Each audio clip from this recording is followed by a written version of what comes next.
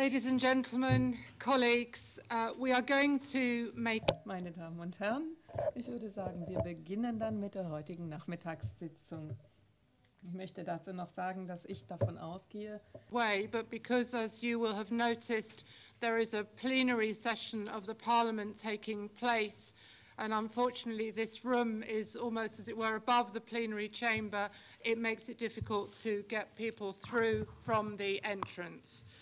So, having said that, it's really my great pleasure to welcome you here on behalf of the ALDE Group, the Alliance of Liberals and Democrats for Europe, here in the European Parliament, to welcome you on my behalf and also on behalf of my other ALDE colleague, colleague Gesine Meissner. Uh, we decided together to host this conference on the 2020 gender perspective for the EU and Turkey. And obviously, I'm glad that we have with us today uh, a number of distinguished guests, in particular our former ALDE colleague, uh, Karin Riis-Jørgensen, who was instrumental in the conference we had last year on a similar topic, and it was really because of the success of that conference uh, that we wanted to repeat the exercise this year. I'm sorry that Karin is no longer a member with us, but I'm delighted that she's here uh, today to, to see how we're pursuing uh, her work. So welcome and thank you, Karin. But of course, I'm likewise uh, delighted that we are again uh, running this event together with Kagider and TÜSİAD, uh, Turkish organizations. That is uh, a huge privilege for us too. Now, perhaps to try to set the context of today's proceedings, we know that the EU has had um, a roadmap for gender equality which has run from the year 2000 to 2010. And it's clear that as policymakers in the Commission uh, and here in the Parliament, as we now move forward, we need to continue to take account of issues uh, regarding gender equality, the employment of women, uh, parental leave, uh, how the economic and financial crisis uh, impacts particularly on family and women, um, to see how the programs, the EU programs like Daphne have, have worked, um, the whole issue of violence against women, which has, of course, uh, been a priority of the Spanish presidency. But we also have to ask ourselves the question, do we need another roadmap to follow on? Or should perhaps this whole issue be an integral part of the so-called 2020 economic strategy uh, for the European Union and how within that do we relate the issue, as it were, of East and West uh, and the comparison between European Union and Turkey and can actually that comparison looking at what happens within the Union and within Turkey, can that comparison of gender issues assist us in many of the difficult and sensitive questions uh, that we have to deal with, to do with the accession process, to do with enlargement of the Union in general.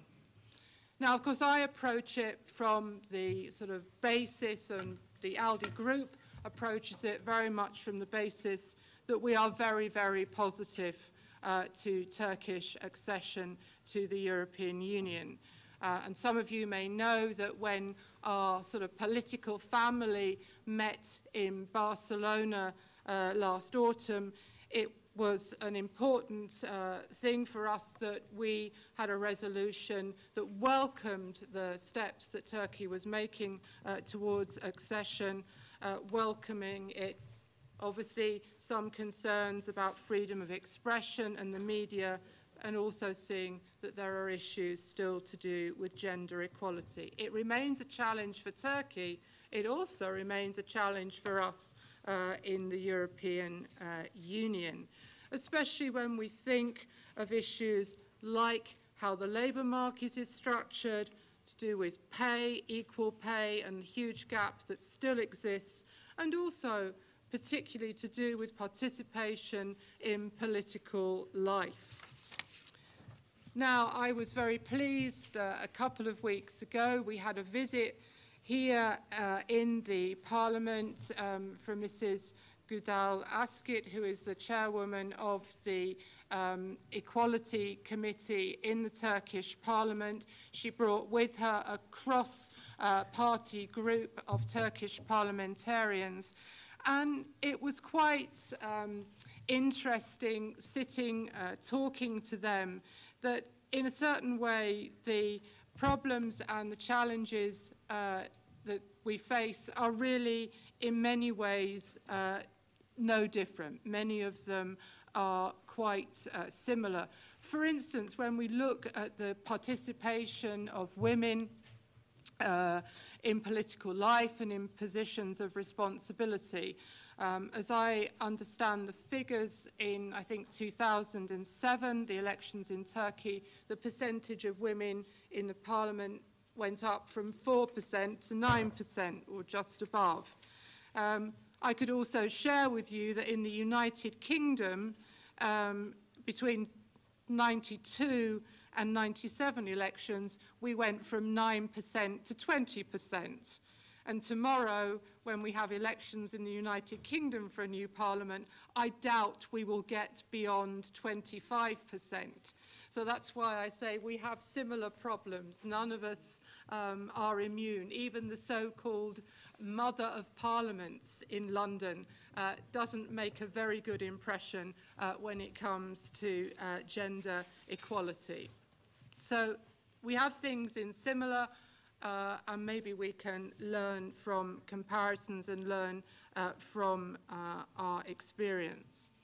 And likewise, I think it was interesting um, last autumn here in Brussels in the European Union itself. Some of you will know, and I think we uh, mentioned it indeed uh, when we had the event last year, that of course we all knew there were going to be four top posts in the EU, the President of the Council, President of the Parliament, the High Representative uh, and the President of the Commission. And of course, out of those four posts, ultimately, one was a woman. But you know, it took a number of our colleagues from the Parliament, we actually put on ties and brandished documents saying CV and marched down to the council the day before the final decision. And there was no doubt, I think, that our sort of uh, personal demonstration assisted in Mrs. Ashton's appointment. Um, so sometimes direct action is necessary, um, but one out of three is not good enough. But I think it's also uh, telling uh, that Mrs. Ashton has not had an easy ride, but I also think it's marvellous that we now do have a woman dealing with foreign affairs for the European Union. And if you hear her talking about things like the um, earthquake it's a different tone to that that we're normally used to. And how many foreign ministers who are women are there in the European Union countries? Just one. So she looks different, she sounds different, uh, and that's good, but still a lot of progress to be made. And then, of course, as I said, we want to think about the EU 2020 strategy, a strategy that is set out by the Commission um, as an economic strategy to how we make the internal market really work better and unblock some of the roadblocks to making Europe flourish economically. And that's as important for the EU as it is for Turkey as a special partner and hopefully ultimately a member of the EU. But it's very interesting in that 2020 strategy document if you look at it, there is not one mention currently of gender issues. And how are you going to make Europe's economy successful if you don't uh, involve and underline some of those issues about the full participation of women in the marketplace, in the workplace, uh, and in the decision-making uh, process. So again, as I say, the EU is not always as good as it should be as these issues, and that's why I think that you can help us, we can help you. It should be a mutually beneficial uh, process. So that's the sort of background or ideas I want us to have in mind as we move forward with our presentations and our discussions this afternoon. Finally, just one uh, housekeeping issue. As we are going to be quite pressed for time, um, rather than having questions by way of people indicating they want to ask questions at the end of a presentation, uh, you've all been given sort of questionnaire sheets. Please fill them in. Uh, somebody will be circulating to collect them, and if we feel we can interpose questions, we will, but otherwise we will try to use the period afterwards for cocktails and also to answer the questions afterwards, perhaps by email. I'm sorry for that, but we have to be relatively uh, fast in the way we move forward. If it does become possible uh, to take questions more, um, how can I say, spontaneously, we will. Uh, but let's see how we go. So that's enough from me. Welcome, and let's move on with our agenda and our speakers. Slightly different from what's published, but to reflect the participation of uh, with the conference, the first speaker to whom I will give the floor will be Mr. Zafer, Zafer Director General of TUSIAD. Dear colleagues, uh, dear guests, it has always been a great honor and pleasure for TUSIAD to be a partner in this annual conference organized by ALDE Group in association with Kagider. The topic of the conference, gender equality in the EU 2020 perspective, is at the core of TÜSİAD's vision for Turkey. As the main representative organization of the Turkish business world and a member of Business Europe, the Confederation of European Business, TÜSİAD is committed to promoting a Turkey that is more competitive globally and is a member of a more competitive European Union. We expect from the European Union to support entrepreneurship, innovation, and social development, sustainable growth, and therefore generate more and more jobs. This is why gender equality is a priority for us, not only as the fundamental value of our democracy, but also because the employment of women is a key driving force to reach the goals of the EU 2020 strategy. The membership process of Turkey to the EU has played an influential role and will continue to be a triggering factor in terms of women's rights in Turkey with the insistent efforts of NGOs, particularly the women's organizations. As the progress reports prepared by the European Commission address, gender equality remains a major challenge in Turkey, despite notable examples of high-level presence of women in Turkish society rate of women's labor force participation, employment, and access to education are still among the lowest in the EU and in OECD countries. At the other end of the spectrum, women's participation in certain professions, as lawyers, as professors, as doctors, is relatively strong. The number of women in top management levels at multinational and national companies in Turkey is also worth mentioning.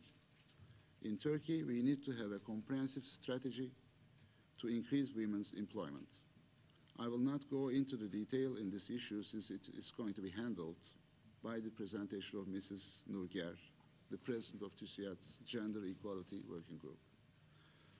Distinguished guests, participation of women in political decision-making mechanism is one of the most crucial elements, not only for democracy and development, but also for its impact on decision-making at all levels, from the family to the nation to the international community.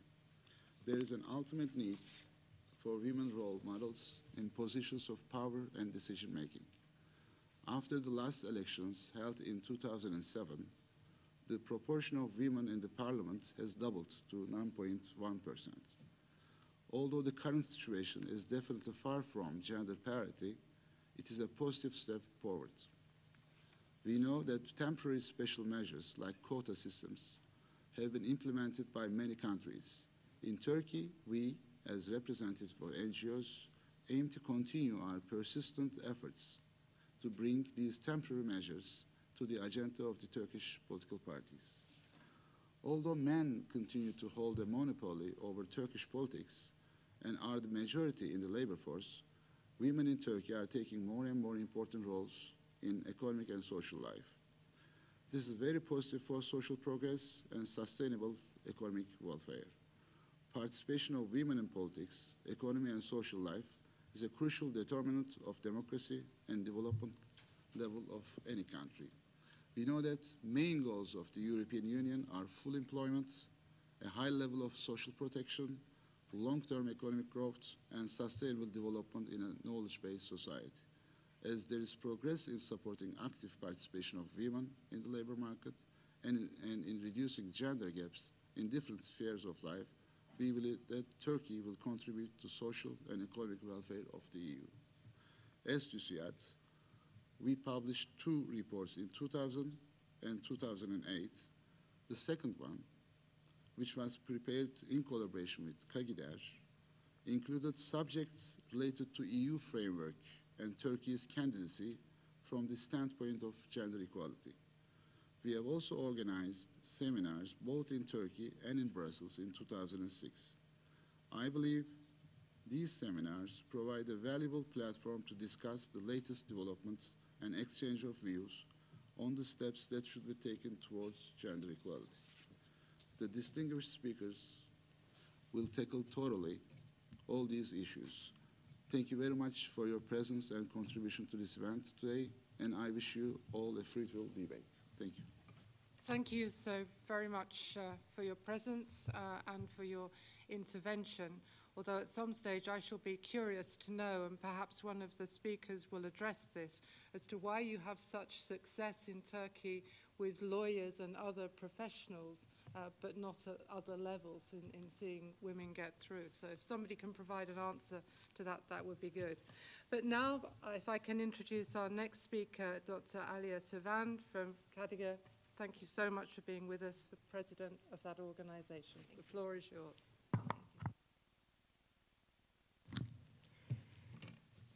Dear distinguished members of the EU Parliament and dear guests, on behalf of Kagider Women Entrepreneurs Association of Turkey, I would like to welcome you all to our conference. First of all, I would like to thank ALDE and our partner TÜSİAD for organizing this conference. We are very pleased to be here. As Kagider, we are committed to the membership of Turkey to the EU, and we believe that this process has been crucial in the development of women's rights in Turkey. However, gender equality and women's rights issues are major challenges for Turkey, as stated in the last progress reports. We are gathered here in this conference to discuss the challenges and the possible solutions to the question of gender equality, both in the EU and in Turkey, under the framework of 2020 strategy. With this strategy, we would like to see concrete steps taken and true commitment from the EU institutions and member states to strengthen the arguments and positions of women in different countries such as Turkey. True gender perspective is essential in order to encourage economic and social growth in the European Union. Steering ourselves out of the current crisis of which women have been long-term victims means recognizing their essential role in our societies. Women are key to Europe's recovery as they represent 52% of the EU population and more than 60% of the university graduates. The challenges we are facing in Turkey are mainly limited political commitment to work on gender issues, a dominant patriarchal and traditional mindset, and lack of gender mainstreaming tools. I would like to share, um, can you help me with the slide, please? Only 6 million out of 24 million uh, women at working ages are employed at the moment in Turkey. And the employment rate is, has been decreasing in the last decade, um, in, uh, whereas the employment rate of women has been increasing in the EU countries. In Turkey, in the last decade, it has decreased from 30% to almost 23%. And uh, according to the employment rate targeted by the Lisbon strategy, we have to reach uh, 60 million, 60% employment rate, which means another uh, jobs for 8 million more women. Evolving from this clear objective, we have launched six weeks ago a campaign to increase the employment rate of women in Turkey, which we named We Want a Job. Our main mission with this campaign is to create awareness among politicians, employers, women, civil society organizations, and media, and to push them towards making necessary and taking necessary actions for increasing the women employment rate in Turkey. We had a very wide coverage on the TV channels, on the daily and uh, daily press and periodicals, and some of the radio stations, which I think we will be sharing some of it. Um, the campaign targets three main groups: government, politicians, private companies, and society women. I would like to show the next one. Yeah. The, these ads uh, were in the press, and this one targets the uh, targets the. No, it's not correct. I'm sorry. Okay, this one. This one targets the government, the politicians, and uh, we are asking for jobs to be created for 8 million more people.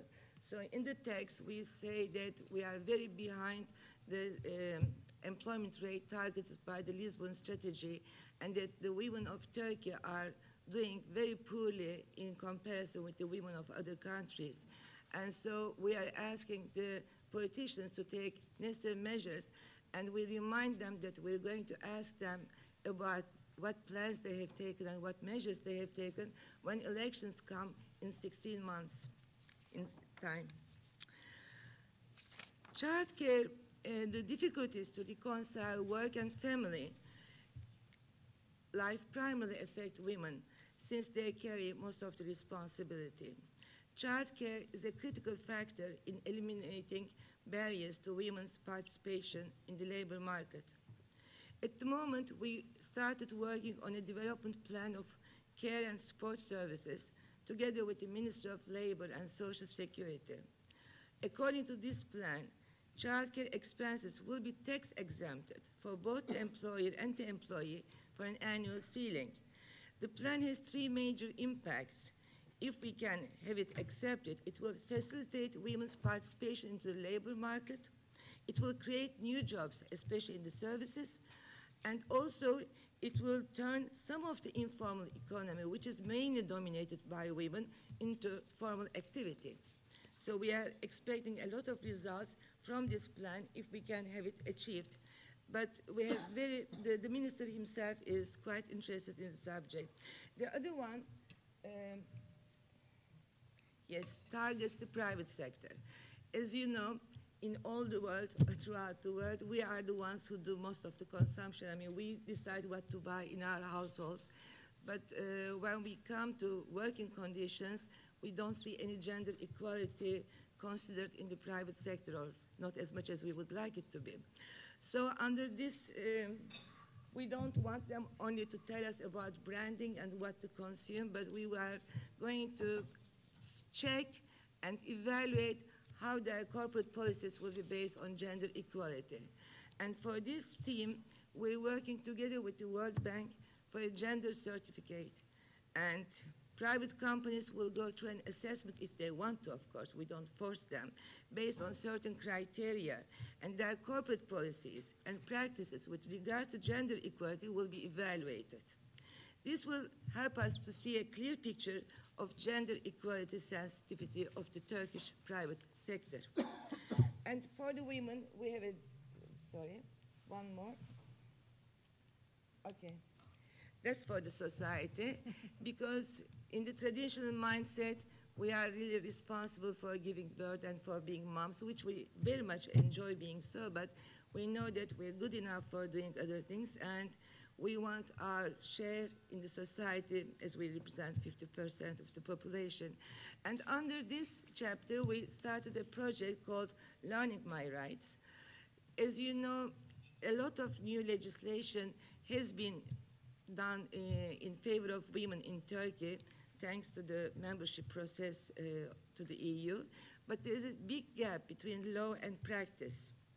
So our project covers visits, meetings, and workshops with different women of different cities in Turkey, and the discussions will be based on the new legislation, creating awareness of the changes, and show the means of implementing them and make them a part of our lives. And it seems to be a quite difficult job, but we're going to start the first visit this month in Gaziantep. So, dear participants, we are very glad to develop an overall understanding of active citizenship altogether as women of Europe, and we believe that the struggle against the dominant mentality will be more important than ever in the EU and the world in the coming decades. Wishing for an effective and interesting debate, I hereby would like to thank speakers for their contribution and Alde and Tusiad for the organization of this event. Thank you. Seeing your advertising campaign and the slogans, I don't think some of those would go amiss in the European Union in terms of uh, trying to uh, achieve the uh, 2020 uh, vision. Thank you. But thank you very much. Um, and our next speaker uh, is Nicola Harrington Buhave, Director General of the UN UNDP office uh, here in Brussels. Um, welcome. I think you're going to deal with uh, gender from a more international perspective, and particularly following on from the Millennium Development Goals. Welcome. Thank you very much indeed, and thank you to the LD Group and the organisers for what I think is an incredibly timely debate. And uh, in looking at the issues of uh, international processes, uh, your meeting falls actually between two quite landmark points. One being the 15-year uh, review of the Beijing Declaration um, and Platform for Action that took place in March this year, um, and basically reviewed the actions that were agreed at the fourth Conference of Women in 1995 in Beijing. And um, in September this year, we will have the 10-year review of the Millennium Development Goals. And I think that all of these issues uh, really kind of fit very uh, firmly in both of those processes. Uh, just a reminder, there are two specific uh, gender um, MDGs the MDG 3 Millennium Development Goal 3 about tackling gender disparity in education that has as one of its indicators precisely the share of women in wage employment beyond agriculture, but also has another one and the proportion of seats held by women in national parliaments. And it has that uh, second indicator not only because of the importance of women being visible in those um, forums, but also in this notion that where women have a participation, that will change the nature of the debate, which I think is precisely the point, uh, Madam Chair, that you were raising um, at the beginning. The other uh, Millennium Development Goal 5 is about reducing by three quarters maternal mortality by 2015. And I will uh, talk about that later, but I think it's really quite telling that that is the goal of the eight goals that exist, that is the one with the slowest rate of progress, uh, even though um, there are entirely clear um, uh, evidence in terms of what actions need to be taken. Um, I think the close link between both the Beijing Platform for Action and the MDGs is twofold. One, that gender empowerment has an intrinsic value in its own right, but also that sustainable routes out of poverty really depend and require upon women being both beneficiaries of processes in the economic and society, but also um, contributors to those processes. Uh, the 15 years since Beijing review in uh, March, I think, pointed to a number of areas of progress globally, um, but it also pointed to something which is very clear that progress is slow, slower than was anticipated, and is extremely uneven If you look in gender parity in education, it is clearly improving, but it's improving less beyond primary education. It's in, improving less when you look at attainment and the results, if you like, of people having gone to school. And worryingly, there are quite clearly widening gaps between those who do have access and those who don't. I said about the uh, very poor progress on maternal mortality, and it's a, it's a well-known statistic, but a really horrific one when you think that somewhere in the world, a woman is dying every single minute from compli complications related to either childbirth or pregnancy. Really very dramatic um, statistic, I think. Um, the, my colleagues have already spoken to this notion about more women being uh, in the workforce than ever, but it is also the case, of course, that globally, many are in poorly paid jobs, with fewer rights than men, potentially less protection, and with clear gender gaps in wages, job stability, access to social protection. And all of those elements are fundamental to the decent work agenda, uh, which is included in the Millennium Development Goals, and the European Union has been such a champion of, both within the EU and also internationally. And of course, more women than ever are holding political office, over 40% in Rwanda, but a lot less in a number of other countries. And it's quite interesting when UNDP, which is looking at its Human Development Index, is now looking at a gender index specifically. Rwanda is up there in the top 10, but there's an awful lot of countries that you would have thought should have been somewhere in there and that are not. Um, and the global average of 18.6% uh, of parliamentarians being women is very far from that 30% target that was set in Beijing. At the current pace of change, we estimate it would take us until 2045 to reach that international target. That's a heck of a long time to wait for uh, better quality decision making and better participation. I think two blocks of issues as well, just to kind of put on the table, and again, they were raised by the chair in the opening. Um, they've become much more visible on the international agenda since the Beijing Platform of Action. One is the whole of the issue of gender-based violence. Um, I think it's been now a stated priority of the globe at a global level, a regional level, a national level, ever since some landmark uh, resolutions within the Security Council 10 years ago. And yet, despite the political profi profile on the issue, we all know that violence against women persists in all countries, all regions, in peacetime and in conflict, and with quite devastating consequences on individuals as well as communities.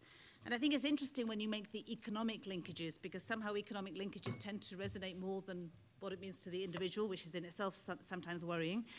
Eh, but the studies show that violence can result in a loss of household income equivalent to 25 to 30% in poor, in poor households. So I think this kind of knock-on effect and this notion that you cannot look at gender empowerment purely as an, a woman's issue, but really as this broader economic and society issue is very well demonstrated, I think, by that, um, by that statistic.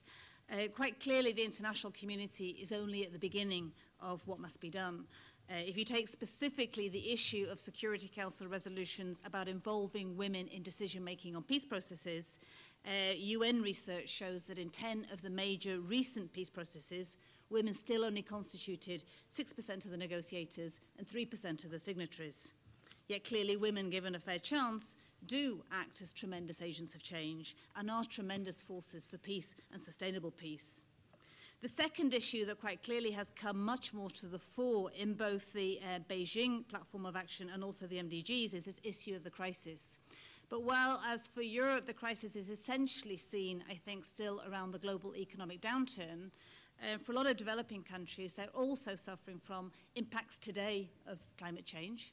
Climate change adaptation is a real issue for a lot of developing countries at this moment in time already.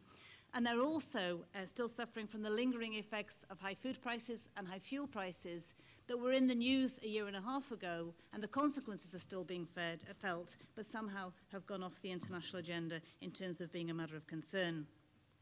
And both of these elements, I think, are really challenging the progress which has been, been made in poverty. But if you take the issue of the global economic crisis, men and women have lost their jobs.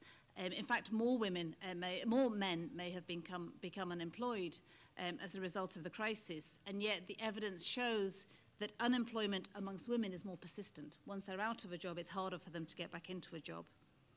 Again, these kind of linkages between what this can mean. In a recent survey in the United States of domestic violence shelters, they saw that the, um, there was an increase in women seeking help from, abu for, from abuse as of September 2008. September 2008 was precisely, if you remember, really one of the, when the, the, the heart of the economic downturn really started to be felt in the US. If you look at the issue of climate change, 60% of women are looking at and depending on their lives, their livelihoods, and feeding their children from the natural environment that is around them. So it is quite clear that women's voices need to be heard on these range of issues which are challenging the, word, the world internationally. I think some of the statistics leave us with a lot of questions internationally. Uh, despite Beijing, despite the, despite the political attention, uh, it does seem that exclusion of women in much of global decision making, national decision making, even household decision making seems to be the exception rather than the rule. What does that terrible lack of progress on maternal, on maternal mortality prevention say about the priority that has been given to financing women's needs? What do the unequal consequences of today's economic crisis tell us about upholding international norms and standards, including the decent work agenda of the ILO? And I think what I was very struck by in terms of in the Beijing Plus 15 was it was this very point in terms of how important to share the lessons and share the practices and see what can be done together. And I take very much this point of um, that it's quite clear that the lessons of what has worked can be spread in an, in an awful large range of countries. I do not think there is countries who can teach and countries who can learn. I think it's much more dispersed from that. Um, we were looking specifically in the issue of women's political participation, and I hesitate to hold forth on a region that I know much less about than all of the people sitting on the panel with me. But we looked um, in terms of women's uh, participation in Eastern Europe and the CIS countries, and it was really very interesting just the range of tactics and the range of strategies and the range of actions that people have used to overcome the institutional obstacles of participation. They arranged to addressing party political cultures, voter education, media awareness, training of female candidates, but also building cross-party caucuses, partnerships between governments and legislatures, the role of international women's movements in supporting national women's movements. And I think, if I'm correct, that the European Parliament has actually been looking at a number of these same issues itself in terms of, of after the European elections last year. Perhaps I'd like to end just on uh, what Europe can do because I think it's quite clear that there are things, uh, and a lot of things that Europe can do. And I would say there were three areas of action that it would really be worth trying to reflect upon in this group. One is at the level of EU, One is at the level internationally. And the third one is really going back to this point, I think the, the case of uh, walking in front of the council and what, how actual individual action and individual organisations action really clearly matters. Um, And I think in EU policy making, we would say that really um, one of the key lessons from the implementation of the Beijing Platform for Action is that the role of the enabling environment in promoting gender equity is everything. There is virtually no policy within the European Union, internal or external action, that cannot have a gender dimension. It's just impossible to think of that. Um, and that's important to bear in mind because it is not always assumed. And uh, in fact, actually, that when the United Nations in Brussels responded to the public consultation around the EU 2020 strategy, it made just this same point that there is no area in any of the strategy that you can really say there is not that gender dimension there, and yet it does clearly need to be articulated and understood. And I think linked to the EU 2020 strategy, Europe really has an opportunity, I think, in the way that it chooses to rebuild its regional, national, and its contribution to the international economy, there are ways of building it which do make it more inclusive. There are ways of recognizing that the, there will be different impacts on men and women. There are ways of linking economic and social policies more closely, and ways of tackling uh, women's legal empowerment, access to funding, training, and technology. So I think that the EU 2020 is a huge opportunity in relation to that should be seized, but also there are many other areas of EU policy making that I would encourage the Parliament to really uh, look at very closely from a gender perspective.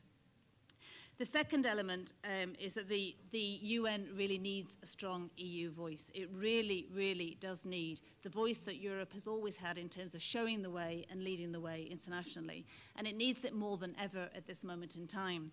And our only concern um, in your world post-Lisbon is that at a time that the EU uh, that the UN really needs the EU, is it going to be in internally looking or will it continue to keep that face to the outside? And when there is the MDG review in September uh, of this year, Europe really needs to go to New York with new policy offerings. It needs to go with messages that the Millennium Development Goals are possible. It needs to go with messages of these are tried and tested actions that we know can help progress. And who knows, it could go with a very strong message of saying that actually one of the best investments in really making a breakthrough on MDG achievement is investing in women and girls and what can be done specifically in that. I would also um, hesitate to foray into an area that is, again, uh, as risky as me talking about a region that I do not know as well as all of you, in terms of just the huge array of instruments that a post-Lisbon EU has. And if you really do map strategically the range of instruments that between the EU institutions and the member states that you have, it is phenomenal. You can engage intergovernmentally in setting standards. You can engage within the EU in terms of leading the way on implementation of those, but you can also, very importantly, help other countries to meet their obligations by helping them build the capacities and deliver on those standards in their own way. And those of you from civil society, I think you have a huge responsibility in that, a huge responsibility in holding governments accountable. I think this point about people knowing what was actually signed up to internationally is a very fundamental point of the accountability. My last point is about you as parliamentarians and members of civil society and, and really encouraging you to share your knowledge. Um, in three years ago, in the International Women's Day in this parliament, um, together we launched I Know Politics, which is an international network, knowledge network of women in politics.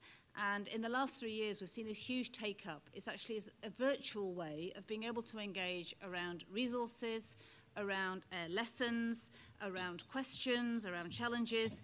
And if you take just one uh, case of um, somebody sitting in Turkey, a political strategist who used the connections out of I, I Know Politics to assist women who were interested in running for office throughout the region of Eastern Europe.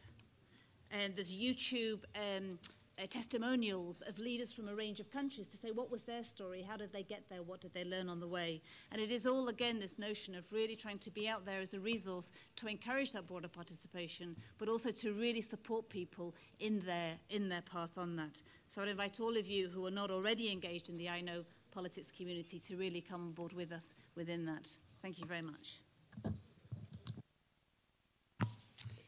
Thank you so much. Uh, you raised really so many issues, and, and, and thank you for making the very clear link, linkage uh, between the the economic and the gender agenda, agenda, if I can put it that way, because um, you made it very clear that 2020 needs this input and also that the, the financial uh, crisis, if we didn't know it, is having its, its knock-on effect, whether it be with uh, violence against women or, or, or whatever. And, and that's good that we, we're brought back to, to keep that in mind.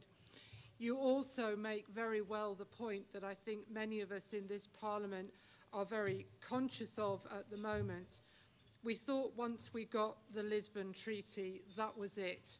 But now we have a new round of challenges to make sure in the coming months that Europe's voice is quickly effective in international fora. Uh, and that's something I think that many of us are, are committed to trying to ensure.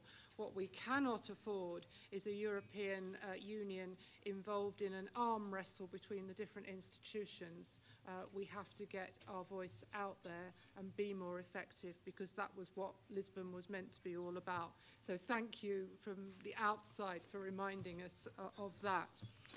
And I think that's a, an appropriate moment then to uh, turn uh, to our last speaker in, in that, this section, uh, Renatas Mažeika, who is head of unit financial support, fundamental rights and citizenship from the European Commission.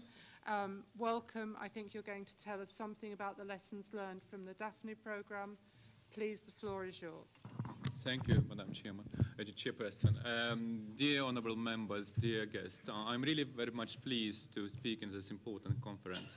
I will try to cover gender issue from two perspectives. One is violence against women, and another uh, how financial instruments, like specifically Daphne program, has contributed or is contributing in uh, reducing or eliminating violence against women in, in EU. Uh, I guess all of you would agree that violence against women is, and young girls is, unacceptable uh, from fundamental rights and gender equality perspective. And it's not least because violence does violate fundamental rights, right of each person to, to life, safety, dignity, and physical and mental integrity. Despite of, of surveys uh, we do have, so far it's very difficult to, to establish which extent, to which extent women and, and young girls are suffering from violence. Uh, however, available statistics leaves no doubt that the violence against women is really a major challenge in, in Europe. When you put the numbers to this human suffering, the problem becomes much more tangible. And I guess it's also economical cost, what's what uh, Ms. Harrington talked about uh, before. Uh, it takes, um, let's say, huge part costs for healthcare, for social services, police, criminal justice system, and labor market as well. And just one of UK examples I got here, uh, one of surveys on domestic violence revealed that in UK, uh, it is cost for society on a yearly basis, it's around 24 billion pounds per year. It's direct and indirect cost. So, and if you extrapolate those figures to EU, it would be a huge, enormous amount. Uh, but really, what we can do uh, to prevent it happening, and what European institutions, governments, and um, civil society can do to protect uh, victims of violence, to prevent, prevent violence, and to be sure that uh, perpetrator, per, per, per, perpetrators uh, got punished. Um, there is a growing consensus that the problem should be addressed in a holistic way.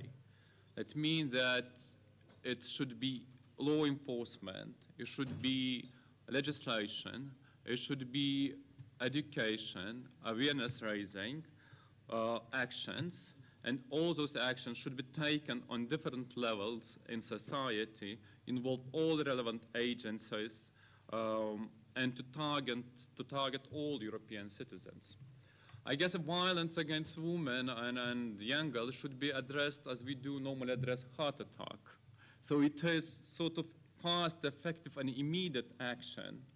And uh, that should be all services involved, housing, um, child uh, protection institutions, police, judicial, who would, in a sort of harmonized or concerted way, would handle the issue. And because its consequences are severe, it's physical and mental uh, illness of people or even a death, therefore I guess uh, we need to tackle this issue very seriously and also the cost of, of, of violence is, is enormous in monetary and non-monetary terms as well. So the list is long what needs to be done, but I guess it's would not I would not emphasize enough that we need to start from education first of all. We need to start from changing behavior of people, changing attitudes in families.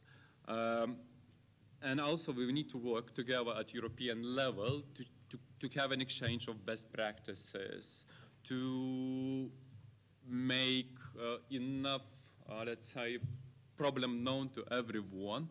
And I guess it's, that is going to help. And of course, Daphne program, it's one of financial instruments of the Commission, of EU, um, is addressing this issue.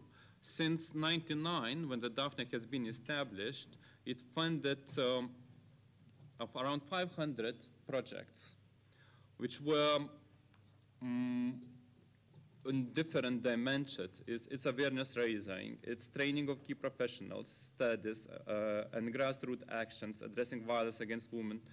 Um, also, we have conducted a number of studies which allowed us to understand the magnitude of the problem. And problem, it takes holistic approach.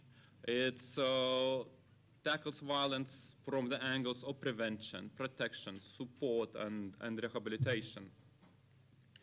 Um, I guess the illustrative examples of good Daphne projects has been distributed and they are provided in thematic booklets, which we uh, summarized as our 10 years experience. And I want to say that this Daphne program has been uh, instrumental uh, in the establishment of European networks of NGOs, especially uh, dealing mm, with violence against women. One of them is very well known WAVE network, and it also includes some Turkish NGOs in this network, uh, which provide shelters in Turkey, counseling, crisis support, intervention, and legal assistance. Um, the whole policy of child rights, rights have been initiated with the Daphne. Uh, it became a kind of separated uh, policy area. Um, also, our projects have disclosed um, and revealed that the situation is quite grave in, in EU, and it increased awareness of politicians and institutions. And therefore, we're having regular calls from, from Parliament, uh, from member states that more should be done at the EU level. And I guess those things have been heard. Uh, Council of Europe is uh, preparing a um, convention on combating violence against women. Um, there is a also commitments of, of, of, the new commission to approach this issue seriously and to tackle it. And um, also, if you see in the framework of Daphne, we have conducted some Eurobarometer studies. One was in 99, another in 2010, where we can compare data on perception and awareness of violence. And the data revealed that it is dramatically increased awareness of people, and also they do call for more involvement at EU level. I think that EU should contribute more in, in, in tackling this problem. Uh, now, in the third phase, let's say, of Daphne, it is now uh, third perspective of Daphne, Daphne, financial perspective from, from 2007 to 2013, we do have around 117 million euros. It's not the biggest financial program, but I guess it's, it's quite significant.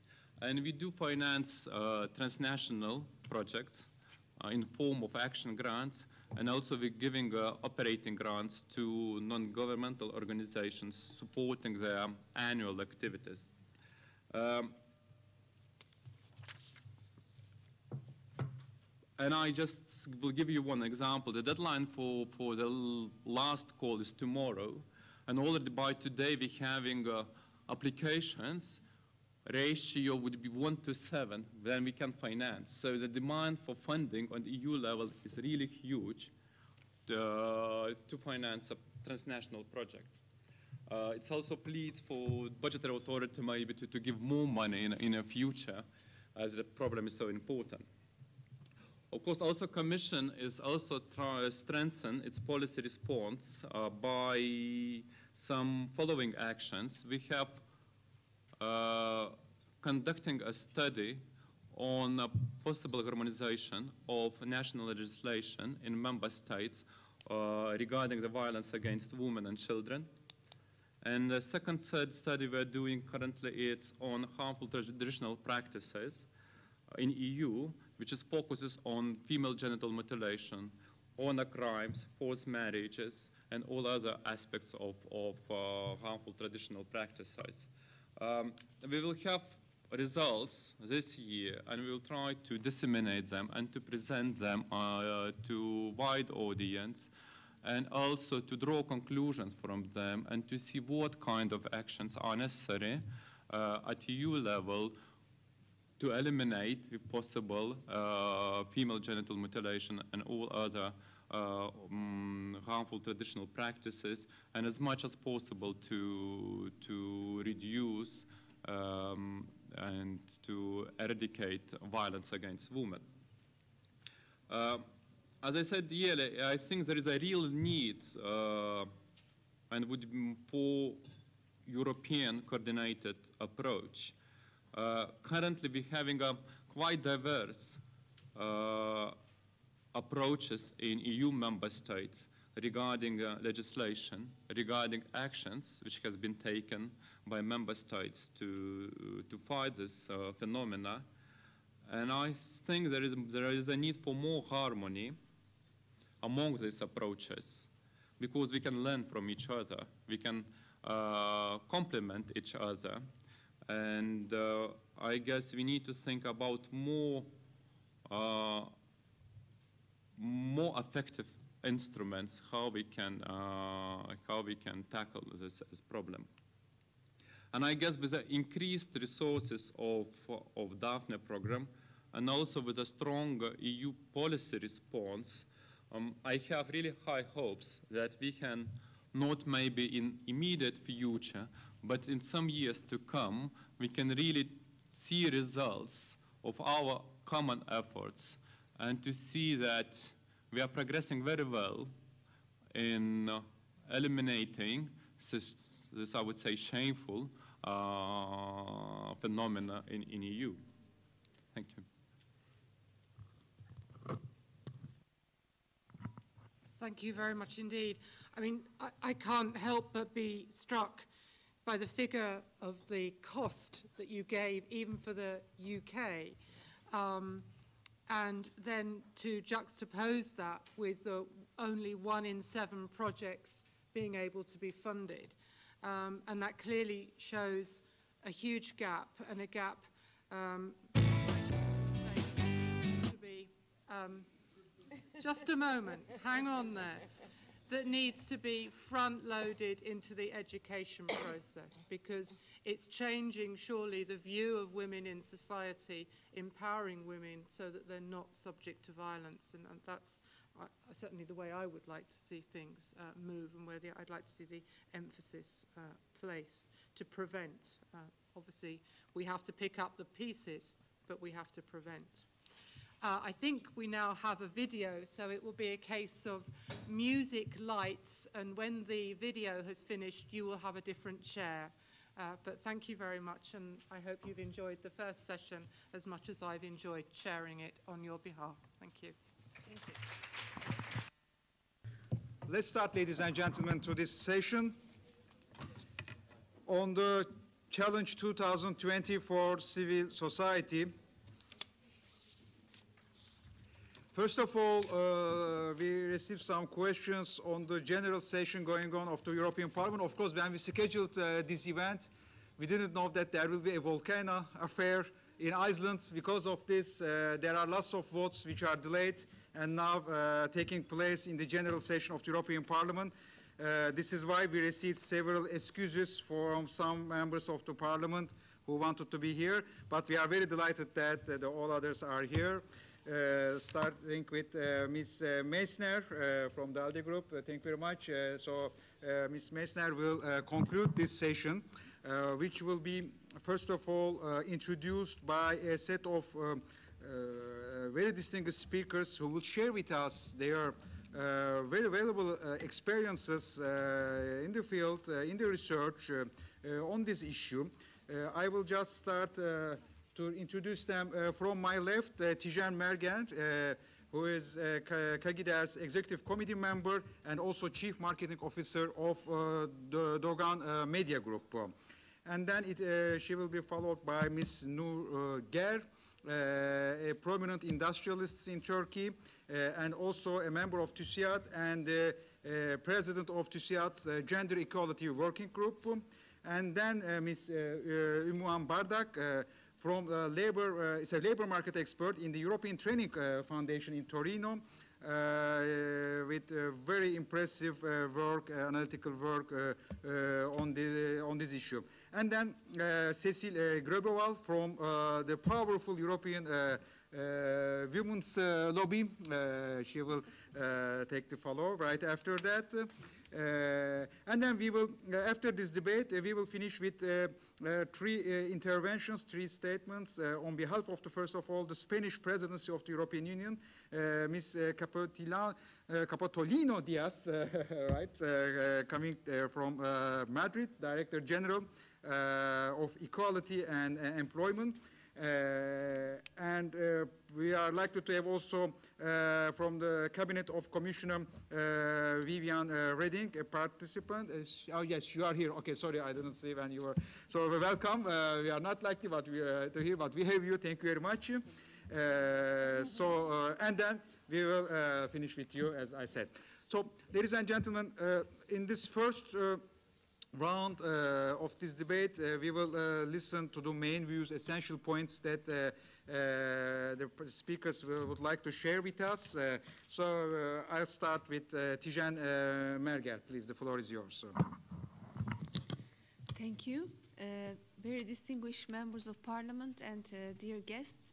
First of all, I would like to thank uh, and ALDE to uh, create such an opportunity for us to share our uh, experiences here with you. Uh, I will uh, talk about a little bit the education problem in Turkey. Unfortunately, still the education is one of the main issues. And if you look at the gender uh, perspective, uh, starting from the illiteracy till the higher education, the university education, uh, the ratios between male and female are quite different. Uh, if you look at the overall uh, literacy, still uh, 7.7% of uh, male population is illiterate. If you look at the women's side, it is uh, t- uh, 12.3%. So there is still far uh, big difference.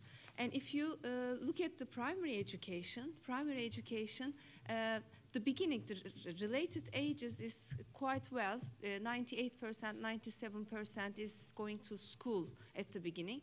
But the breaking point comes at the fifth grade. Uh, primary school is eight years and it is mandatory.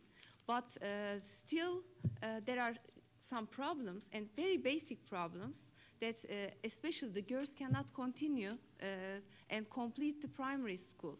Uh, for the five, first five years, there are schools in the villages, uh, even one classroom, three classrooms, and one teacher or two teachers, and they can still uh, conduct a training uh, till fifth grade. Uh, they call it as integrated education system. First grade and the second grade may share the same teacher and share the same classroom. But when you come to the sixth grade, then the science, social science, uh, literature starts, and then uh, that point uh, you need more classrooms and more teachers, and unfortunately there is no schools. Still, the basic, the buildings in the villages. So uh, parents should send the children, their kids, uh, to the ci- cities or towns, and there. Uh, they prefer to send the boys but not the girls. So if you look at the graduation from the primary school rates, it becomes 85%. And out of this 15%, uh, each seven out of 10 uh, is girls. So usually girls stop uh, their education. So that's why, uh, as Doğan Group, as Milliyet, we decided to uh, make a big campaign uh, to really encourage, uh, especially girls making the positive discrimination, uh, to continue their educations. And the main idea was to build dormitories uh, at the towns where the schools located. So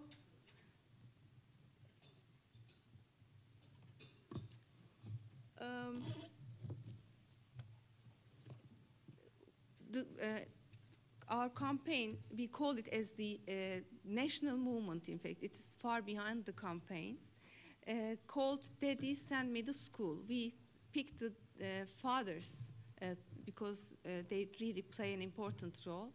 And we, I think that, that worked very well uh, during the um, whole campaign's period. We started at uh, 2005, so it's the fifth year now. Uh, and we targeted three, three aspects. The first one was financial aid. The second one was to improve the, the social life of the girls. And the third one was enhancing uh, and uh, increasing the awareness of the problem, on the problem. And for the financial aid, we uh, decided to uh, build the dormitories in the uh, required areas and classrooms, still uh, schools in the towns and the cities and the villages, and also uh, raise fu- funding for scholarship for the girls. And uh, the second one was improving the quality of the social life. Uh, these poor girls, uh, they know their own villages and their uh, towns only. So it, in addition to the normal education that is provided by the Ministry of Education, we try to uh, teach them a little bit more uh, uh, arts or music or sports. So we try to uh, build some uh, sports salons uh, across near to the dormitories or to decorate or build some social rooms in the dormitories so that they can play guitar and get some uh, music lessons. And also we organize some seminars uh, for hygiene issues or uh, to give some uh, guidance to them for their career plannings uh, to prepare them for university education. And also, uh, the awareness was quite important uh, to teach uh, fathers and mothers uh, why their uh, girls should go to school, their children go, should go to school, and also uh, announcing or promoting some uh, role models, best practices to, to uh, guide these uh, young kids. how we will how we have done it and uh, we also continue to do it. We establish a steering committee uh, from different disciplines uh, we have we have lawyers we have um, uh, journalists and also marketing people and financial people to cover all aspects of uh, the requirements we are not a uh, profit organization non-profit organization so we are a media group so uh, our role is really be, to become an umbrella and to support uh, non-profit organizations, associations who has the same mission with us. So what we did, we contacted uh, with various uh, non-profit organizations uh, and especially with Çağdaş Yaşam, ÇYD'de, we really uh, built a very strategic partnership and uh, since five years it worked uh, very well.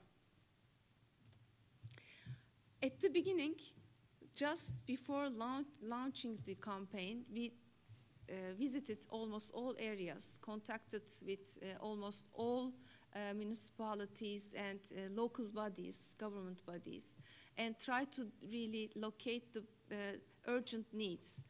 And we also uh, organized some panels and workshops with all these local authorities to really understand the requirements. And then we, we uh, allocate, we um, um, located 17 places where the dormitories is uh, really required urgently, and also 7,000 girls that needs uh, scholarship. And we announce it, and each and every week uh, on Tuesdays, we put a map on the newspaper locating the um, places where these uh, dormitories needed and where the scholarships is needed. And we got really very, very good uh, feedback on that. And uh, when it is done, we make it uh, uh, green. If, if it is still a requirement, it's, it was red. So we really continuously uh, promote this uh, map and uh, get really very good feedback on that. And it is now in the fifth year, uh, we have achieved 29 dormitories. Our target was 17, and uh, we have overachieved it. And then uh, we have touched at least 10,000 girls. Some of them are graduated, and some of them still continuing. And some of them unfortunately left uh, the school, and we try to really uh, find out the reasons very well. Uh, at the end, we provided four years of scholarship, not just one year, in order to be sure that they complete at least their primary school or the secondary school education. Uh, we did lots of TV campaigns uh, uh, and some um, uh, sales exhibitions so that we can get money. And in the fifth year, we, cou- we could gather 34 million Turkish lira, which is approximately 17 million euro for the campaign. And maybe the best thing is uh, we could achieve 300,000 people, 300,000 individuals helped this campaign, either with one Turkish lira or 1 million Turkish lira in different uh, ranges, but 300,000 uh, people really uh, contributed in the campaign. So I will not go to uh, other details. Maybe if there are questions, I can cover it uh, later. But uh, making uh, coordination with the Ministry of Education and the local bodies were quite important uh, to really understand the needs and get support, uh, especially. Uh, Baba beni so each year we relaunched the Babası, campaign. lütfen onu okula gönder. Uh, we Haydi used some Türkiye, testimonials uh, or Otomatik some ödeme talimatı verin. O da okusun. Onun gibi yüz binlerce kızımız da. It Haydi says that Türkiye. uh, if you give kızımız kalmasın. just uh, 17 euro per month, you can uh, help uh, the education of one girl throughout the year. So this kind of campaigns we did a lot each and every year. We have lots of uh, awards. Uh, we are proud of it, and one of them was uh, from IPRA, uh, uh, UN Special Award. Uh, we really are proud of it. And I really would like to finish my uh, presentation with Hasan. this ad. This is the current ads running on the TVs today in Turkey.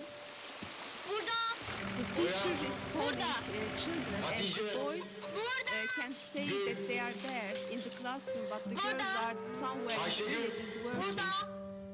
Fatma, And this poor Onların at yeri 13 burası years değil, of age. okul. Baba Beni Okula Gönder kampanyasına verdiğiniz destekle 5 yılda And this, 10 bin kızımız okullu oldu. And Gelin it's ayda directed sadece by 40 very liraya common, siz de bir kızımızın uh, eğitimine director, destek verin. uh, 10 bin Çağan kızımızı Irmak, daha okullarına and he gönderelim. did it for free of charge for us. So, thank you very much.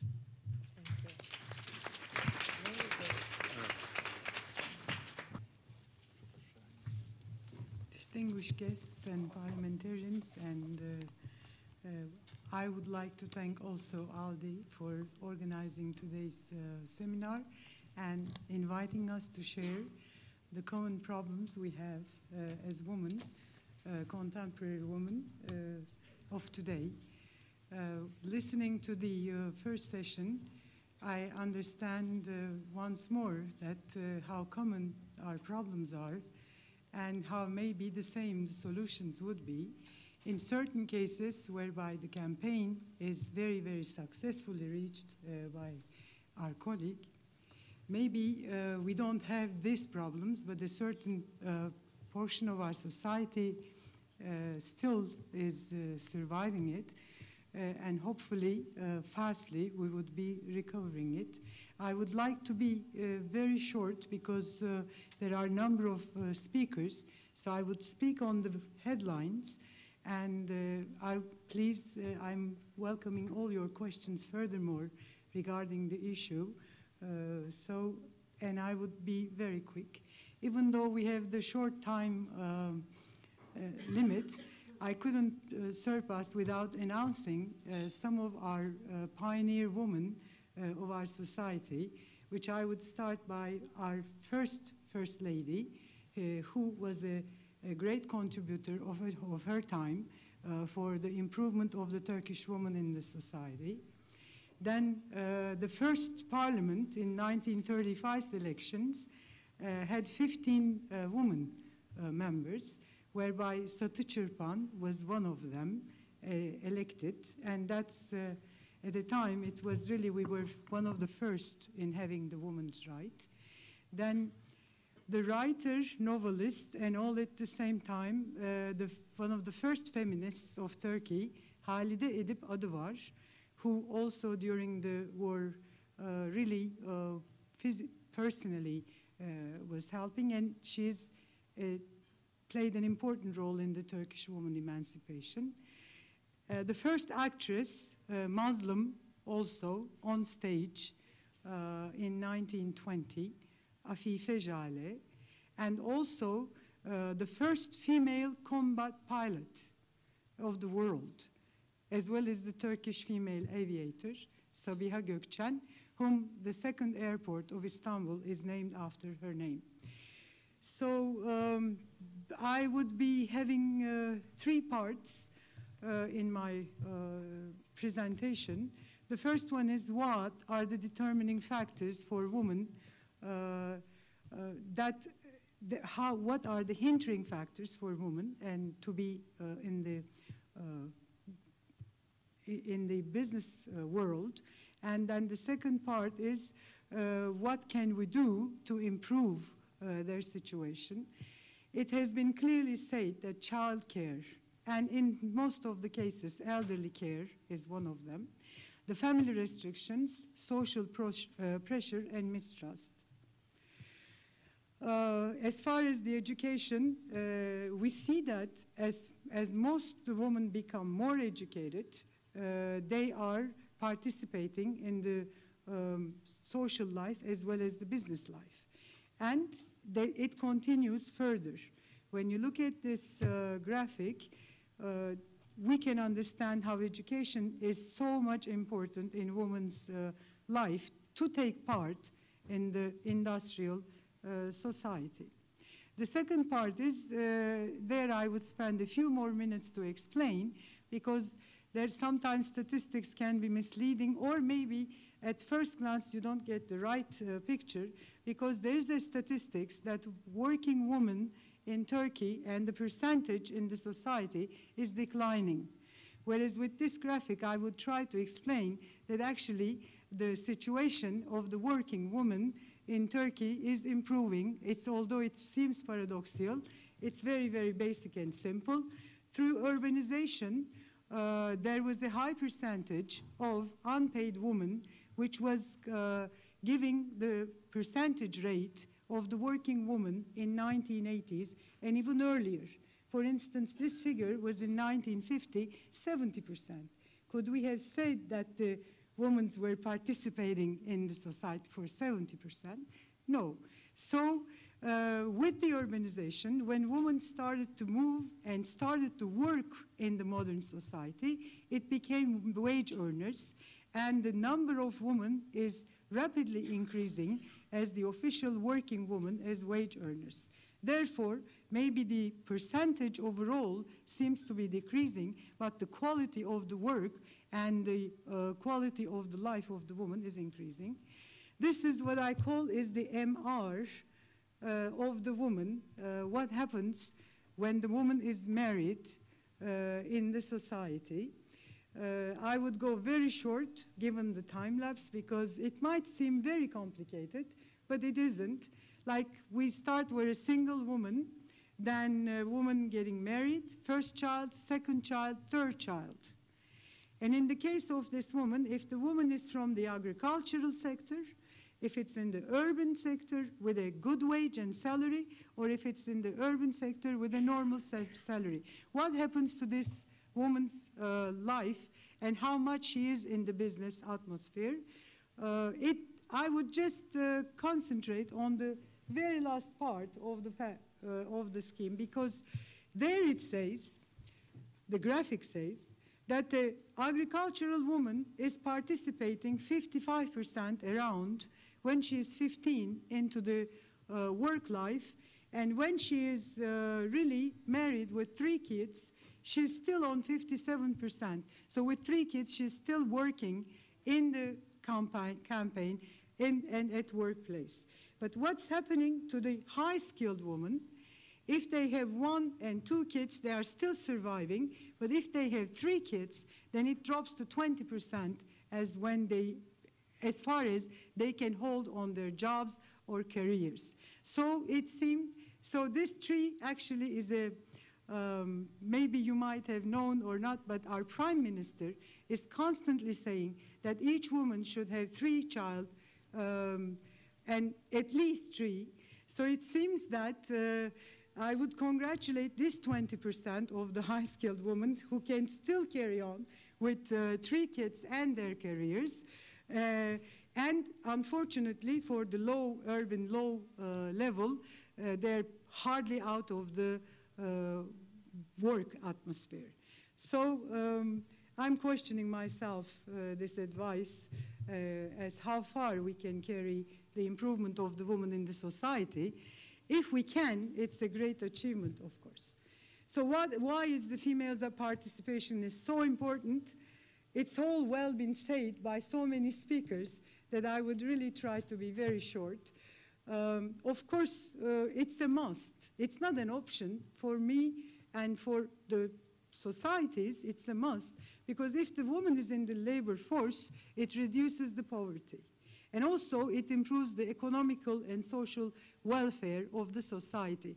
There's a one-to-one correlation, so women should be in the society and out of their house. Can we say that if we imagine hypothetically an atmosphere whereby woman is well educated and woman is wealthy, so should they not work? Because for many, many cases, we put out this, uh, that women should uh, work because for economical reasons they should work, or in, in other cases, uh, uh, you know, when their well-being, should they not work? But for my opinion, of course, it's not enough that women, even if they are well educated and they are wealthy, they should be participating into the society and they should be working. And if by uh, definition democracy is against discrimin- discrimination, you cannot claim that a democracy exists with half of the society working, the other half being uh, being, well, in this case, I would only cite uh, Atatürk. Uh, why is the female participation is important? It's in 1930, it was said that human society is composed of two genders, male and female. Is it possible to improve the entire mass by improving only a single part of the mass and ignoring the other? Is it feasible for one half of an object to reach the skies while the other half is chained on the ground.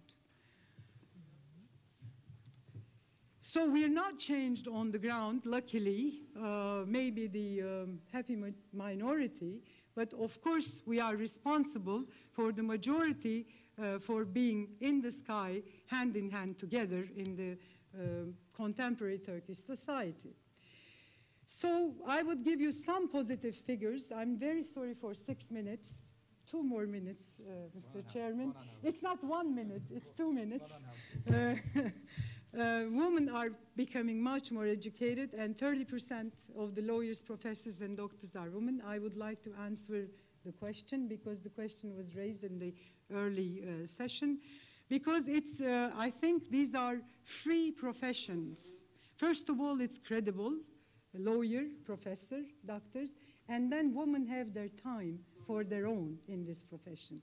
That they can hold their family, they can also uh, work, and they have they manage their time. So it's one of the uh, important factor why this is a high percentage. Um, According to the uh, 2010 Corporate Gender Gap report, World Economical Forum, Turkey is, is, one of the first three countries displaying the highest percentage female CEOs among OECD BRIC countries, and this is 12%. But uh, in this case, I would like to give you an example of TÜSİAD, which has two consecutive uh, women presidents from a uh, males association, uh, from which uh, it's very uh, well seen that if also woman wants to, they would reach the unbroken ceilings. Then um, there, is, there is a program uh, which is very recently started that is subsidizing uh, employers' social security contributions for newly hired women for up to five years. So this is an encouragement for women to start or an encouragement, also an incentive from an entrepreneurial point of view that uh, they are more tended to uh, employ women. That was the aim. There is also um, a decline in the agricultural employment, as I have said before, and urbanization increases number of women in the society, and they are getting married at a later age, so our fertility rates, despite our prime minister wishes, is decline, declining at the moment. So um, furthermore, uh, I think I stop at this moment by saying just one point. There is no gender equality body as required by EU acquis, so it should be established. Uh, so I think it should be mentioned in today's session. And I would like to thank you for giving me this opportunity. And I would like to thank the World Bank report and State Planning Organization, which they have made an excellent job in presenting the Turkish woman's position in today's society. And thank you for your patience. You.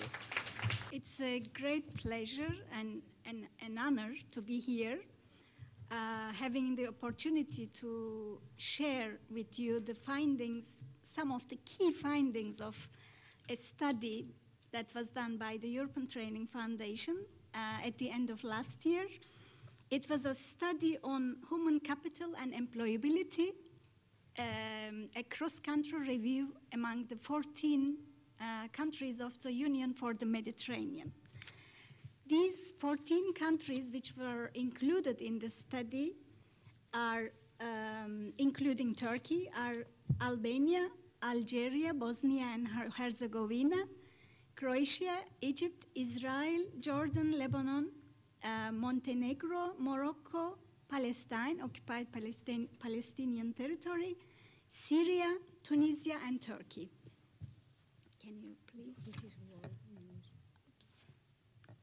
This one. Yeah. Wha- Oops. Sorry. Okay. Well, in I'm supposed to explain uh, all the findings in five minutes, uh, so I will be really very brief. But the publication has been distributed already. You must have it in your desk. So if you are interested in, you can read more.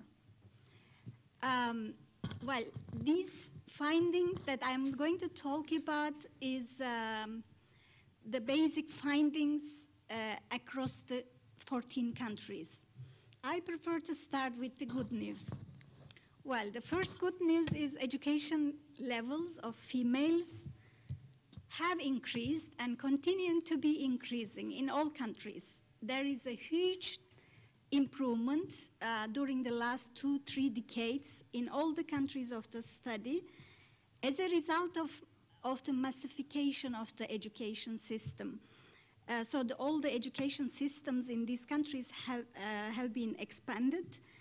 And we see this uh, also in the um, improving adult li literacy rates, for example. I have many graphs, but I, am not able to show all of, all of this to you. But as an example, you can see that um, we see adult literacy rates increased, gross enrollment rates in the primary education increased, uh, almost 100% in all countries. Uh, gross enrollment rates in the secondary education and tertiary education has also increased. So young females are more likely um, to be uh, better educated than their mothers. There is an intergenerational difference, which is uh, good. Um, another good news is female activity and employment rates, as has been already mentioned, um, increase with the level of education. There is a direct positive correlation in all countries, without any exception, that uh, the higher the education level of females, more likely they, they are in the labor market. When it comes to the bad news, gender gap in education is not closed yet. Still, we see differences at all levels, from the adult literacy rates to the primary, secondary, and tertiary education. Unequal access to education is a problem, especially for girls, but especially girls with uh, poor and rural backgrounds. The second bad news uh, we can mention is the quality of education. This somehow has been compromised at the expense of expansion because, the, because of the expansion of the education systems, there was a uh, decrease in the quality. And females are more likely to suffer from the good, bad quality education. There are much higher dropouts uh, among the girls. Um, they are not um, oriented by well-informed career guidance. And then there are also gender segregated, quite strongly segregated occupations at the intermediate level, especially in, within the uh, vocational and technical education and training system, which prevents girls to continue in their education.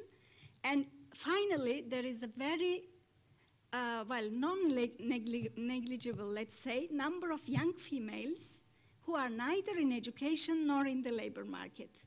I'm talking about those girls uh, aged between 14 to 24. And these are non-visible, actually, but they are there, and quite a lot. Um, when it comes to the employment, because we see education and training for employment, this is our mission also as a European Union agency specialized in the field of education and training. And the first good news is university education certainly increased the female employability in all countries without any exception. And they are mostly working as professionals, as already mentioned doctors, lawyers, university professors, nurses, teachers. These are the most popular and generally um, preferred occupations or professions by females, but fewer managerial and political positions. The second good news is if we look at the working labor force, average qualification of working females um, is much higher compared to the males. Well, although their number is very small, but this tells something to us. And the third good news, you may take this as bad news as well, but um, there is no unemployment problem, a significant unemployment problem for the uneducated or primary educated females because they are rather inactive. Well, this is not good news, maybe, but if we think of that they start to look for jobs, unemployment rates could really peak up uh, in most, in all of the countries we studied, which are already unbearable levels. Uh, well, when we come to the bad news, female unemployment rate is always higher than the that of males. This is a consistent finding in all countries, and it increases directly with the level of education. So the higher the level of education, the more likely that females face the unemployment problem. Because, mainly because the low educated or uneducated are not active, um, not at all in the labor market. The second uh, bad news is the difference between the activity rates and um, activity rates of primary and uh, secondary education. I want to show you this graph because it shows it shows that the difference between the activity rates of primary educated, which is the yellow one, and the secondary education, I mean upper secondary education. So uh, in the, within um, lower secondary is included in the primary education in this graph, is very small. So the secondary education, upper secondary education does not make any difference. This leads us questioning the value of the higher education. There is something wrong at that level. Uh, supposing that not every female cannot continue to the university education as like as every male, uh, this secondary level education needs much more attention for the labor market value of the education, for the employability. Um, and then finally, uh, labor market entry for females uh, is more difficult at the medium level qualifications, not at the highest level. Um, and this is mainly due to the low quality secondary education, but also very limited vocational choices for females, for girls. Um, because especially at the secondary level, vocational education and training field, um, there is a quite strong gender segregation by occupations, and there are much more strong gender stereotypes. So this limits the choices of females at the secondary level, and there is an, also an issue of um, mismatch between the skills taught in the schools, but also the labor market needs. So I come to the conclusion. I have many graphs, but I can show you later if you are interested in. The first, maybe overall conclusion is massive female presence and success in education. With shortcomings still, we know the shortcomings, but this is already very good news. However, their position in the labor market is, has been and still is weak. Uh, we see either inactivity or labor market dropout after, dis- uh, after being discouraged uh, for some time uh, looking for a job or high unemployment. Um, for that reason, we see also low and decreasing activity employment rates in all countries that we studied, and they are decreasing still. Actually, the average activity rate is around uh, 50% in, in most countries, and average employment rate is 40%. These are the total rates, mainly due to the very low female employment, and it's around 20 25% in the countries that I mentioned. This shows us, um, ETF thinks that this is a significant waste of human capital, female human capital with uh, long-term implications for the societies, for the development of the countries. And um, finally, again, this is also uh, the idea of um, um, idea promoted by the ETF. We think that education and training and employment resulting with employment is one of the key factors for women empowerment, if even we can say maybe precondition. Uh, and gender sensitive policies and affirmative public action is needed for having gender equity in these areas. Thank you very much for listening to me. Thank you very much, Ms. Bardak. So, ladies and gentlemen, we overviewed, uh, uh, we overviewed uh, the situation uh, in the largest uh, future EU member, Turkey, and also in the periphery of the European Union, as far as the gender equality is concerned. So now maybe we can start to focus on the European Union, which is the most important superpower of standards in this part of the world. So let's see how the putting women rights at the core of the EU policies uh, uh, is a challenge. Uh, so the floor is uh, for Ms. Uh, Cecile Gréboval from European Women's Lobby. Thank you very much, um, dear members of the European Parliament and dear colleagues, and thank you very much to have invited us to present you some of the challenges that we've identified at this um, turning point. So I will be quick and not present everything because uh, so that we can have a discussion.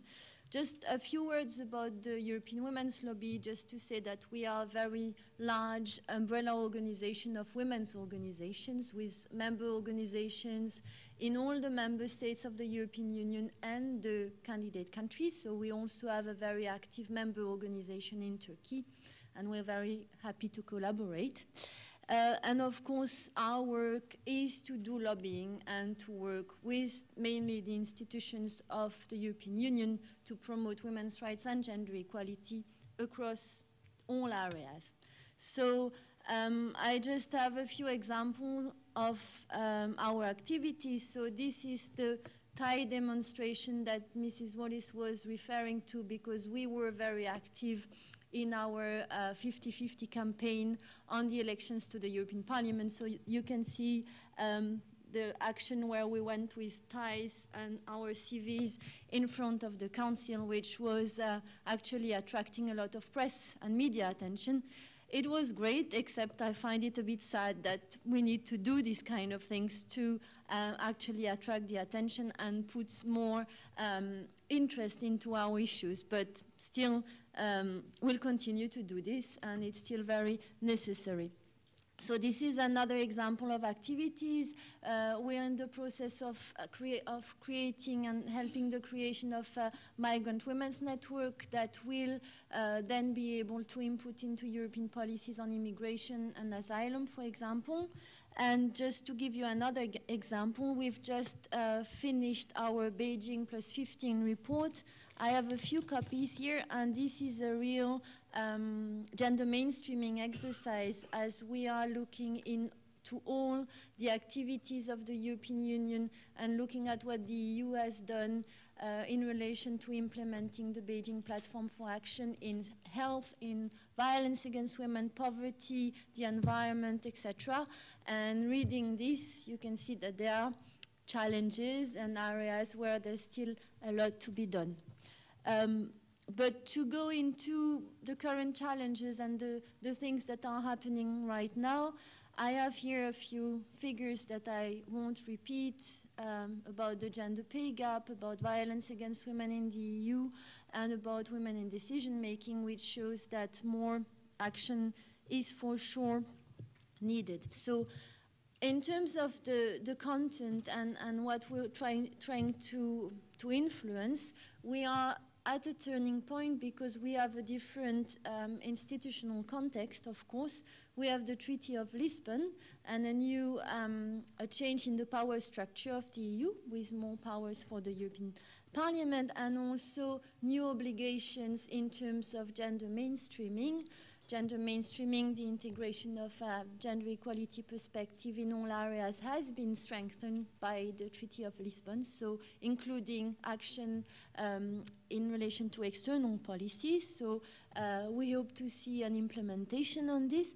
And we also have a new Commissioner for Fundamental Rights and Citizenship, which also changes a bit the perspective in relation to women's rights, because this issue was previously dealt with in the framework of employment policies, and putting it in a human rights framework could allow for broader action of the EU also in relation to violence against women, for example, but also other areas. So this is what um, we are hoping for. Now, uh, the other important development as, at the moment is that the political framework for gender equality at EU level is coming to an end. That was the European Roadmap for Equality between Women and Men, and the Commission is building a new one at the moment. So here we are hoping for a very visible and coherent strategy that would cover all areas. We hope that it will continue to promote both um, specific actions for women's rights, but also a very consistent and coordinated gender mainstreaming strategy. We also hope for a strong intersectional approach, which means taking into account the diversity and the diverse needs of women who are not an homogeneous group. What is also very important is coordination mechanism because the roadmap should be an exercise in involving many services of the Commission, so this needs to be coordinated and this needs to have resources. And finally, um, we hope that there will be a link and some commitment by member states, so a relationship between the roadmap of the Commission and the member state level. So I'm, I'm, maybe a bit too quick, but uh, we have little time. But in terms of the European 2020 strategy, um, we of course very happy that there is a new strategy but the issue here is that since lisbon since the, the year 2000 actually the importance of um, gender equality in employment and conciliation measures etc etc has been actually weakened and what we see now is that the EU 2020 strategy, as Mrs. Wallis was saying, hardly mention women anywhere. So um, we really hope that gender equalities and issues related to, for example, the gender pay gap, but also the reaffirmation of the, the targets on childcare will be still uh, reintegrated into the EU 2020 strategy because there cannot be a long-term strategy to ensure growth and well-being without taking this into account. And so we really hope that there would be more uh, objectives, also objectives in relation to uh, equality between women and men. And I've mentioned the pay gap, which is still um, a scandal in Europe. So we very much and we know that some countries and some um, actors support this. We hope that the, the Council of Ministers and uh, maybe even this House could um, work towards this. Um, in relation to the financial crisis, we've also done quite some work on this, and we've just done also a study which is called um, Women's Poverty and Social Exclusion in the European Union at a Time of Recession and Invisible Crisis. And that shows really that um, recovery plans that have been adopted are really uh, mostly gender blind, that they don't take the situation of women into account, and that it's a bit like business as usual. We continue with recovery plans that um, give subsidies to the traditional um, car manufacturer, etc., and that don't consider also the hidden costs of the crisis in terms of public services cuts, uh, which have an impact on women's unpaid work, on women's economic independence, etc. Um, so we would hope that this crisis is uh, also used as an opportunity to make things a bit differently. Uh, in terms of the restructuring of the financial and economic architecture, in terms of the representation of women in economic decision making, in terms also of um, introducing gender budgeting at the European level, which hasn't happened yet. So there's a lot to be done in, in, in, in trying to uh, work differently in, in our economic policies. So um, those are the other many, many different things that are currently happening at the European level and where uh, input is needed. So there is a new anti-discrimination directive that is being discussed. There is also a new maternity directive that is being discussed and uh, which is creating a lot of debates and a lot of discussions and where we're pushing for um, stronger provisions for all women in Europe. Um, then there is the issue of gender mainstreaming that uh, I've mentioned. On violence against women, we are making concrete proposals for finally the European Union to have strong policy on violence against women. It's an issue that has been really pushed by the Spanish presidency, and we're delighted that something will, will, happen, something in terms of policy and maybe even legislation might happen in the coming um, month, year, I don't know, on violence against women. Now, sitting in this house, uh, I can't help speaking about parity in the European institutions. Will there be quotas one day for the European Parliament, for the European Commission? We hope so, maybe for the next election. And of course, um, it's been shown that women are um, the workforce, part of the workforce that needs to be developed, that there are violations of, of women's rights in Europe, in the EU, and, uh, and beyond. And our message really is that women's rights are not a luxury for period of growth only, and that we need to continue working on this. Thank you.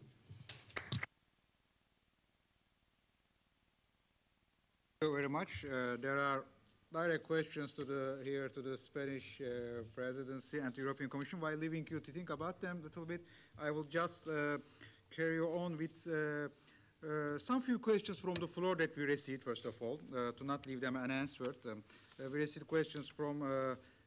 Ms. Güven Velici, Vizer Alekov, and Mr. Tumbash.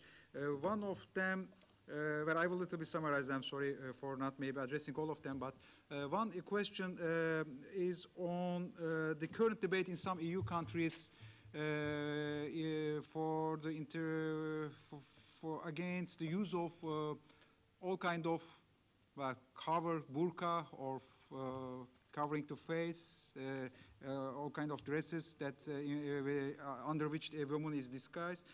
Uh, and the current debate in Turkey on uh, the foulard, as it is mentioned here, on the headscarf. So the question is, maybe to the Turkish speakers here, uh, to what extent this debate in Europe and the current debate in Turkey uh, are they linked with the progress of uh, women rights? Who wants to take this question? you do, Mr. Okay. All right, go ahead, please.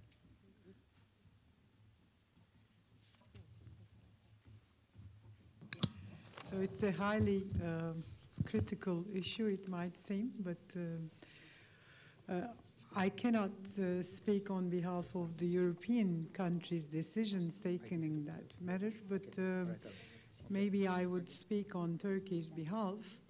That first of all, uh, the woman, woman, and I would really try to be specific, not turning around the world, that women are covering their heads uh, for a long time uh, in Turkey and ever since, uh, maybe, in the agricultural sector. And when they moved into the big cities, this uh, habit also continued uh, in its existence.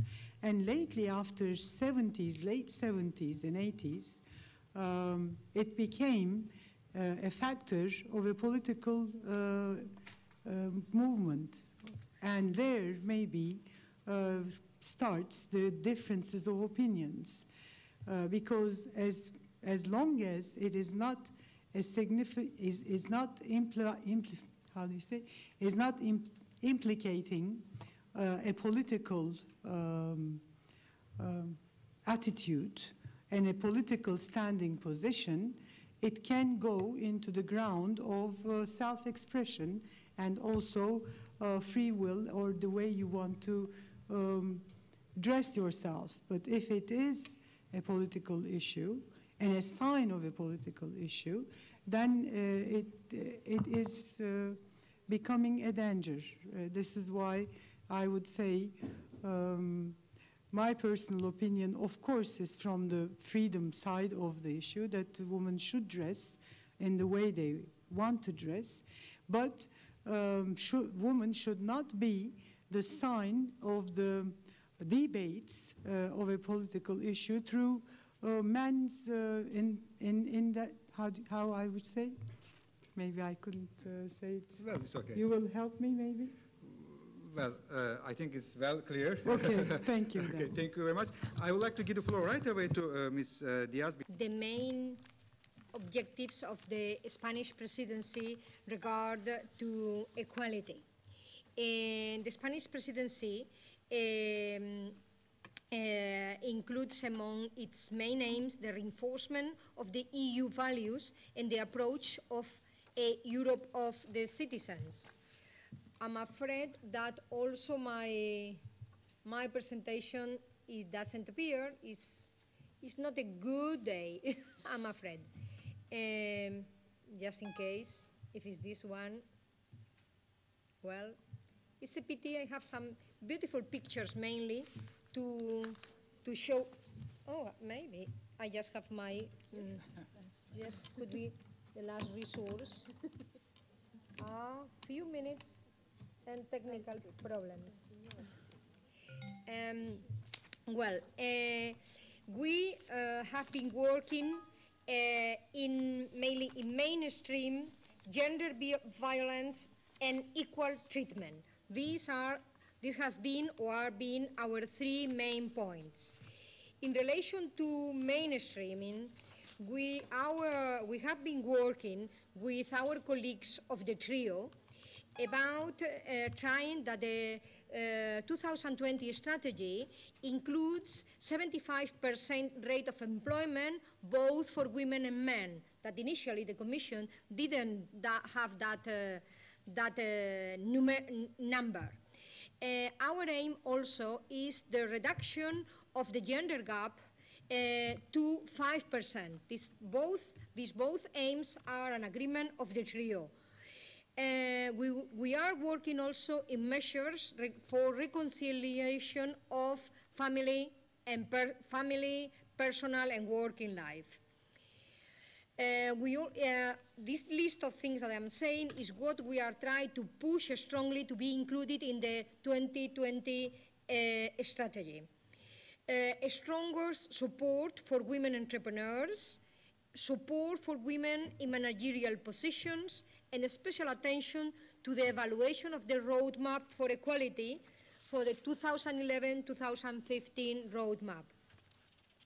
About gender violence, in the EPSCO Council of the 8th of March, of March, we have some conclusions on gender violence. Uh, it has been passed the European Protection Order for the integral protection in any EU territories of any women uh, with um, uh, menace of uh, gender violence. It has been also agreed to establish a free toll EU telephone number 116016 for assistance and information in any of the 27 countries in the language, in any of the languages of the EU countries. And also a proposal for one European observatory to coordinate, compile, and provide information on violence against women. It will be the main source of information for all those involved in the development of policy and public actions against women violence. We hope that the, the new mm, Institute for Gender in Vilnius will be part of this observatory. In relation to equal treatment, uh, we are working, as has been said, in the directive proposal of the Council for no discrimination and equal treatment that goes parallel with uh, an, an, a bill that we are preparing in Spain. This is in the process of being discussed, probably could not be approved during this period, uh, but we hope that the Belgian presidency can go ahead with it. Uh, in relation with this equal treatment, uh, I have this here some pictures about the, meet, the second European summit for the Roma population that we have in last month in Cordoba.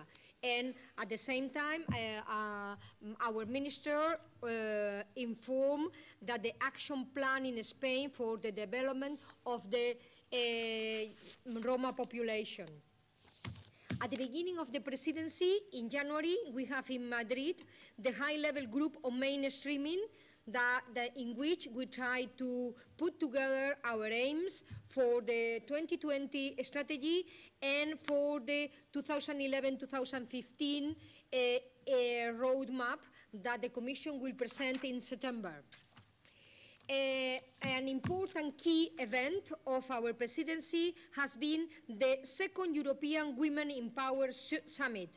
The first one was 1992 in Athens, and after that, we will not have anyone until now, and we invited ministers, female ministers with any portfolio of any of the 27 governments to come to, uh, to come to Cadiz and to discuss a declaration for empowering women in political power. Uh, at the end of the meeting, of the summit, uh, the present ministers signed a, what we are calling the Cadiz Declaration. I must say that was the, minister, uh, our, the Spanish Minister for Equality, Ms. Bibiana Aído, plus Ms. Harriet Harman from the UK, the ones who have, uh, were leading this meeting. Uh, at the end of uh, March, we have in Valencia the informal meeting for European Equality Ministers. At the end of this meeting, we have a trio declaration of, on gender equality that uh, unified the aims of the three presidencies of the trio.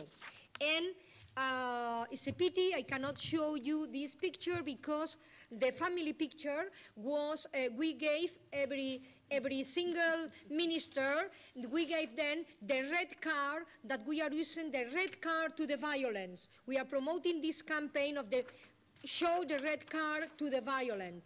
And, and all of them decided to use this red card and to, to show it in the picture. Uh, after we finish this informal meeting in Valencia, we have also the fifth women meeting, Women for a Better World. Is the meeting that we used to have Spanish and African women. We gathered together 500 powerful women, mainly from Africa, although a few of them from other parts of the world, and from Spain. Uh, is the, as I said, is the fifth of a row that the Spanish Prime uh, Vice President is organizing. It started five years ago in Mozambique, and we, we hope it will continue. Uh, uh, on the same line, we have on the 13th to 14th of April the Conference of Employment for Young People as a tool for social inclusion that is obviously comprehends uh, gender equality. And uh, the, remaining, the remaining key event of our presidency, a part of the June uh, Ministers' uh, Council, will be an experts meeting on equality and mass media on the 31st of this May in Madrid. This is all for my part. Thank you very much, and I'm sorry for the hurry. Thank you.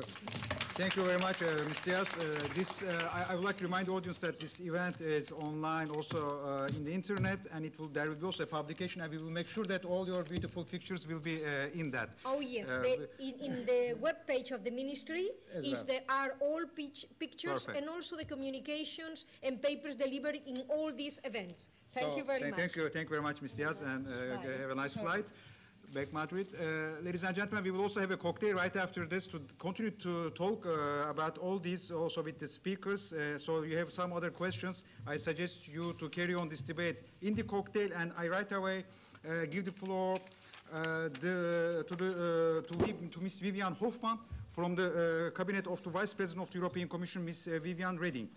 So, Ms. Hoffman, please. Thank you very much. Dear members of the European Parliament, uh, dear ladies and gentlemen, it's a great pleasure for me to be here today and attend this debate on behalf of Commissioner Viviane Reding and uh, to listen to most interesting presentations.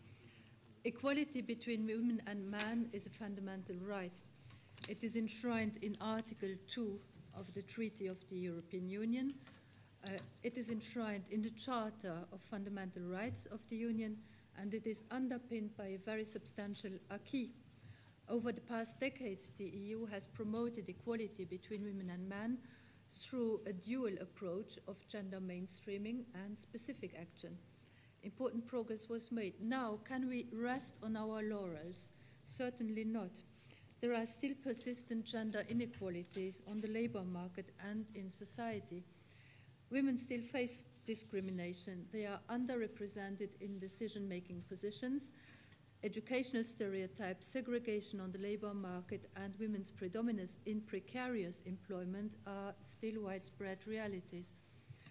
On the 5th of March, the European Commission adopted the Women's Charter.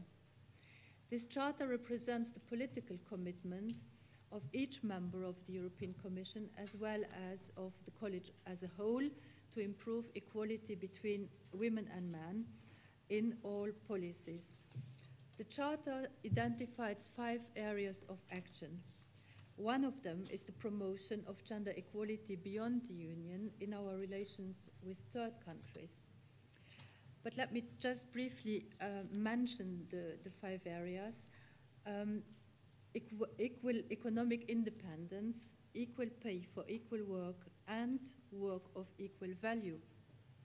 Equality in decision making, dignity, integrity, and putting an end to gender based violence. Gender equality beyond the Union, as I, as I said earlier. And those will be translated into a new strategy for equality between women and men, which Ms. Uh, Viviane Reding plans to present after the summer break. We are also planning to put forward a policy framework to tackle violence against women, including female genital mutilation. Up to 25% of women in Europe have experienced violence, physical violence, at least once during their adult lives, and 10% have suffered sexual violence. Another priority um, is the work with member states to significantly reduce the gender pay gap. It is unacceptable that there is still an 18% average gender um, pay gap across the EU, and this is actually widening in some countries. Um, and therefore, we launched the second phase of the gender pay gap campaign in the beginning of March this year. Um, now, uh, mentioning the uh, gender perspective in the Europe 2020 strategy, um, gender equality plays an important role in the strategy, uh, which was presented by the Commission in March. The strategy aims to foster a smart, sustainable, and inclusive economy which delivers high levels of employment, productivity, and social cohesion. And we need therefore to ensure that women and gender equality fully contribute to and benefit from the strategy.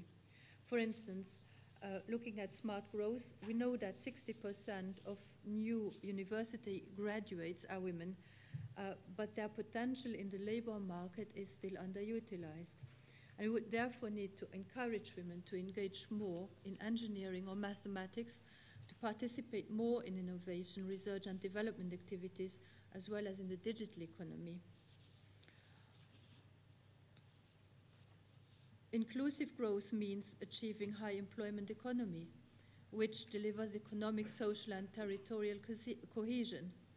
And um, in the context of Europe 2020, the Commission underlines that policies to promote gender equality will be needed to increase labor force participation, thus adding to growth and social cohesion. Now, um, let me also please uh, say a couple of, of, words about Turkey. Um, Commission follows developments in, in gender equality um, in Turkey with great care.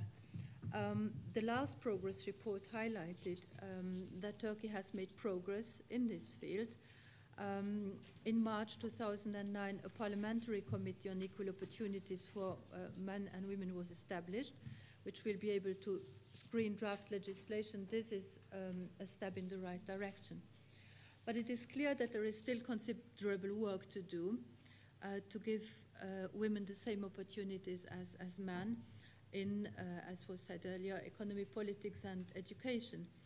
And uh, we warmly encourage Turkey to ensure the full implementation, monitoring, and evaluation of the National Action Plan for Gender Equality 2008 2013. Overall, gender equality remains uh, a major challenge, both in terms of legal alignment with the acquis and in terms uh, of the persistent gap between men and women in economic participation, political representation, and access to, to education. And uh, I, must, I must say that I was very much impressed um, about what um, our first speaker uh, explained about the Daddy Sent Me to, to School campaign, which um, seems to be an extremely efficient one. And indeed, more needs to be done to improve women's access to education in particular by ensuring that girls continue to the next educational stage and by identifying and supporting school dropouts. Another area that cannot be ignored is violence against women, which is still widespread in, in certain areas. Um, so um, the efforts to prevent the so-called honor killings and, and domestic violence needs to be intensified by making women fully aware of their rights and by increasing the number of shelters for female victims of domestic violence. Um, we would indeed encourage Turkey uh, to introduce an independent gender equality body, as was mentioned earlier, in order to push forward greater legal alignment with the, with the EU acquis. Um, now, Turkish NGOs, professional organizations, and social partners can play a pivotal role to empower women. women. Um, and um, indeed, we highly welcome uh, Kagider's proactive uh, role on promoting gender equality. Um, and also very much welcome the, uh, the support of TUSIAD in promoting equality between men and women in the private sector. Um, and by having representation in, in Brussels, um, both of you can facilitate uh, keeping gender equality issues of Turkey on the EU agenda as, as we see today. Um, I would also um, like to, to add very briefly that the Commission continues to support Turkey's efforts to improve gender equality through financial support. Um, promoting gender equality is a specific objective of our pre-accession funding and overall, uh, the support for gender equality and women's rights in Turkey has so far amounted to over 80 million uh, euro. And this had, has led to useful projects on a wide range of, of issues. Um, now, um, getting back very briefly uh, to um, the, the, our general context, um, I would say that uh, the economic and financial crisis has affected both men and, and women, but in different ways. While male dominated sectors have been strongly hit by the recession with significant job cuts, uh, the risks of cuts in, in public budgets um, is likely to have a serious impact on, on women as well. And um, now, maybe on um, on, on, on, a more uh, general um, issue as, as well, I would say um, we have come a long way, and it is clear that we still have a long way to go. Um, gender equality is a precondition for sustainable growth, for employment and competitiveness and social cohesion. we, we must ensure that our future labor market and society um, are based on the fundamental principle of equality between all citizens, irrespective of gender. Thank you very much for your attention. Thank you very much, uh, Ms. Hoffman. So uh, now uh, Ms. Meissner will uh, conclude uh, this session. Please. Ms. Okay, now the time is running. Well, we are running out of time, and I have now the honor to, to make the conclusions. I have a few minutes, I think. Uh, well, what just uh, Mrs. Hoffman said, it was already kind of a conclusion. That's at least what I think. She uh, didn't uh, let uh, review everything we just heard about, but uh, she uh, finalized what has to be done still for gender equality in general in Europe and especially maybe in Turkey. But before I come to my conclusions, I would like to briefly say something to all the speakers who had been here because I really want to thank all the speakers, of course, who joined our um, our panel. It was really very very interesting, and well, it's never enough time if it's interesting what we are going to hear, what we're hearing by the speakers. So first of all, um, I just make it really brief so that we come to an end after a while. Uh, Mr. Sava from TUSIAD at the beginning, he said that women play more and more an important role in, the Tur- in Turkey. I think that's really true. And of course, there has still much to be done, but uh, it's, it's a progress we can uh, see, and that's, uh, yeah, make us ma- ma- that makes us hopeful, so to say. And uh, Mrs. Sewand, I hope I pronounced the names in the right word. I don't know quite. I don't know whether I really do. Um, she uh, was talking about uh, women who have been very long time victims in several ways, and that is, it's necessary to fight in according gender equality against violence against women. And then what impressed me very much in uh, your report was uh, what you did with Kagider uh, uh, in this employment campaign with the photos. I think it was really quite interesting, and as far as I remember, my dear colleague Diana Wallis, she already mentioned it could be used in all the countries of Europe. That's really true, not only in Turkey. Then Mrs. Harrington uh, Bogay, is it right? No, pronunciation of, na- of names a little bit different. She mentioned the economic growth uh, that depends on high percentage of good qualified women, and that's really uh, something that came like a red thread, so to say, to several speakers' amendments and, and um, presentations.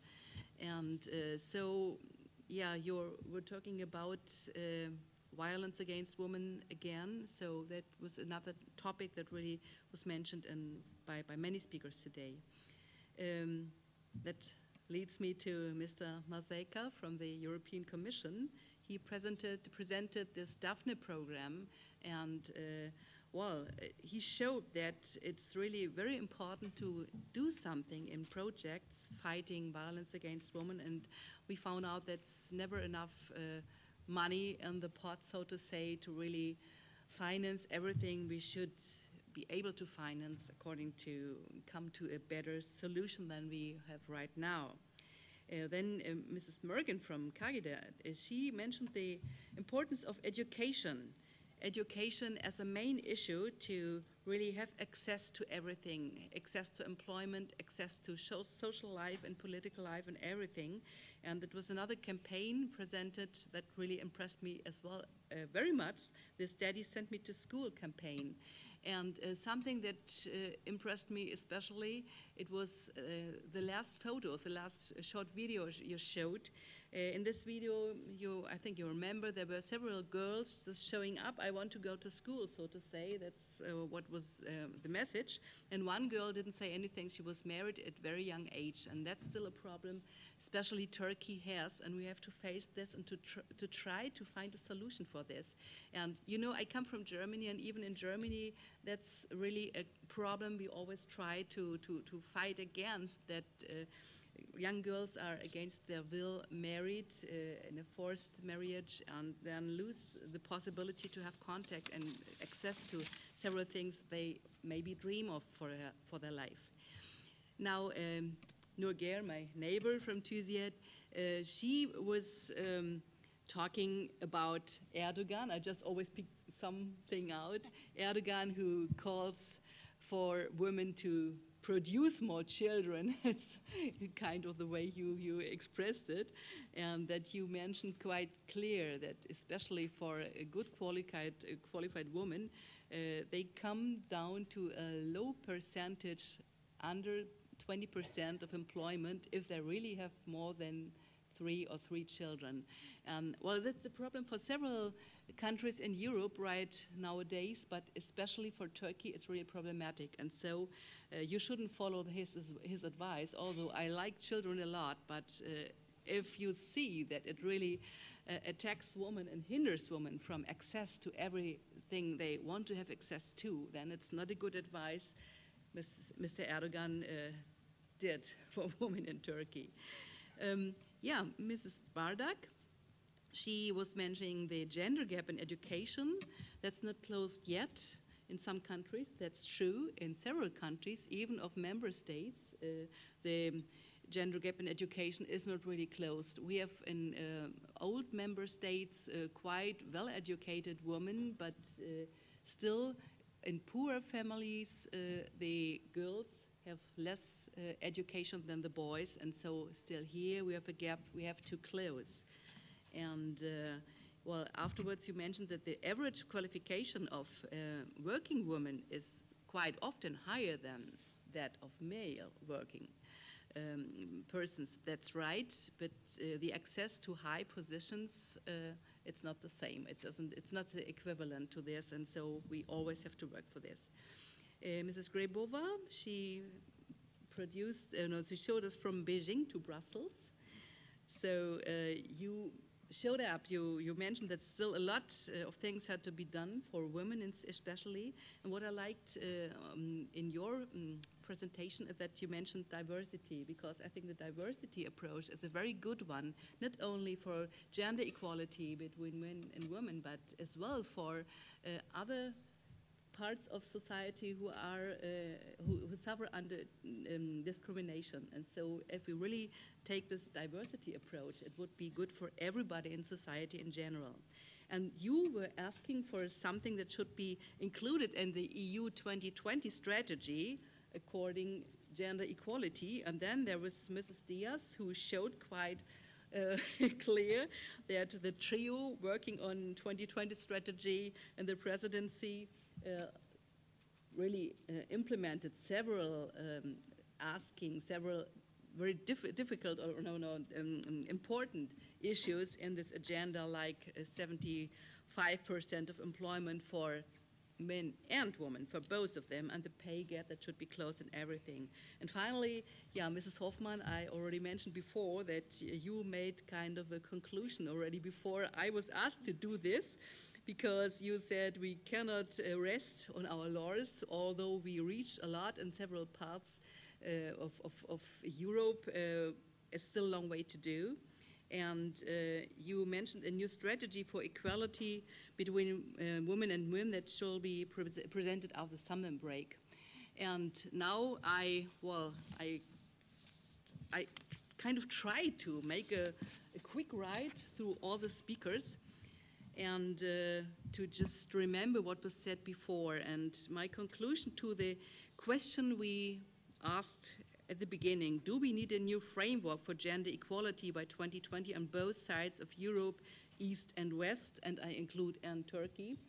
Then I would say, yes, we really need this. We are on the best way to have a new framework, and uh, well, because we were talking about the EU enlargement as well. And that's, of course, a question that's in the background the whole time while we are sitting here. Um, Turkey is longing for an access to the European Union, and uh, while the negotiations endure already quite a long time, and no end is to be seen up to now. My colleague Diana Wallis mentioned that the liberals are quite off, quite quite open for this excess, and that we had a special re resolution in Barcelona. I had been in Barcelona as well. But uh, at the end, I want to mention that really I would be happy to have Turkey and the European Union, but especially according gender equality, there has to be several things to be done. You all know this, we all know this, and I hope very much that, uh, yeah, the fight against violence against women and uh, the access woman uh, is not given in Turkey in several ways.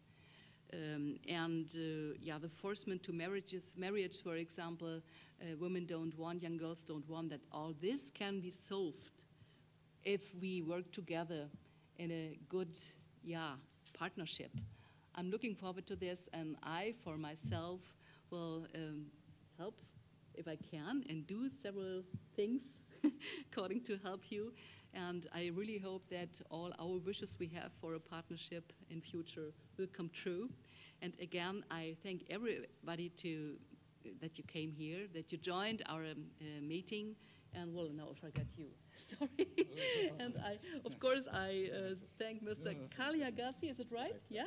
That he made such a good moderation, that he was a chair in our last panel, and that he really made it almost to finish at seven o'clock. It's, it's a little bit later right now, but it's kind of a wonder that we almost came to an end uh, at the exact point we wanted to have. So thank you for every. I thank everybody to yeah that you have been here, and you know that just now, one floor upstairs, there's a cocktail waiting for you. And I would like very much if you would join us with a cocktail and have some talks to us. And maybe then all the questions you couldn't raise before, you can then ask to the, our speakers while you have your cocktail. Thank you very much for coming, and bye bye.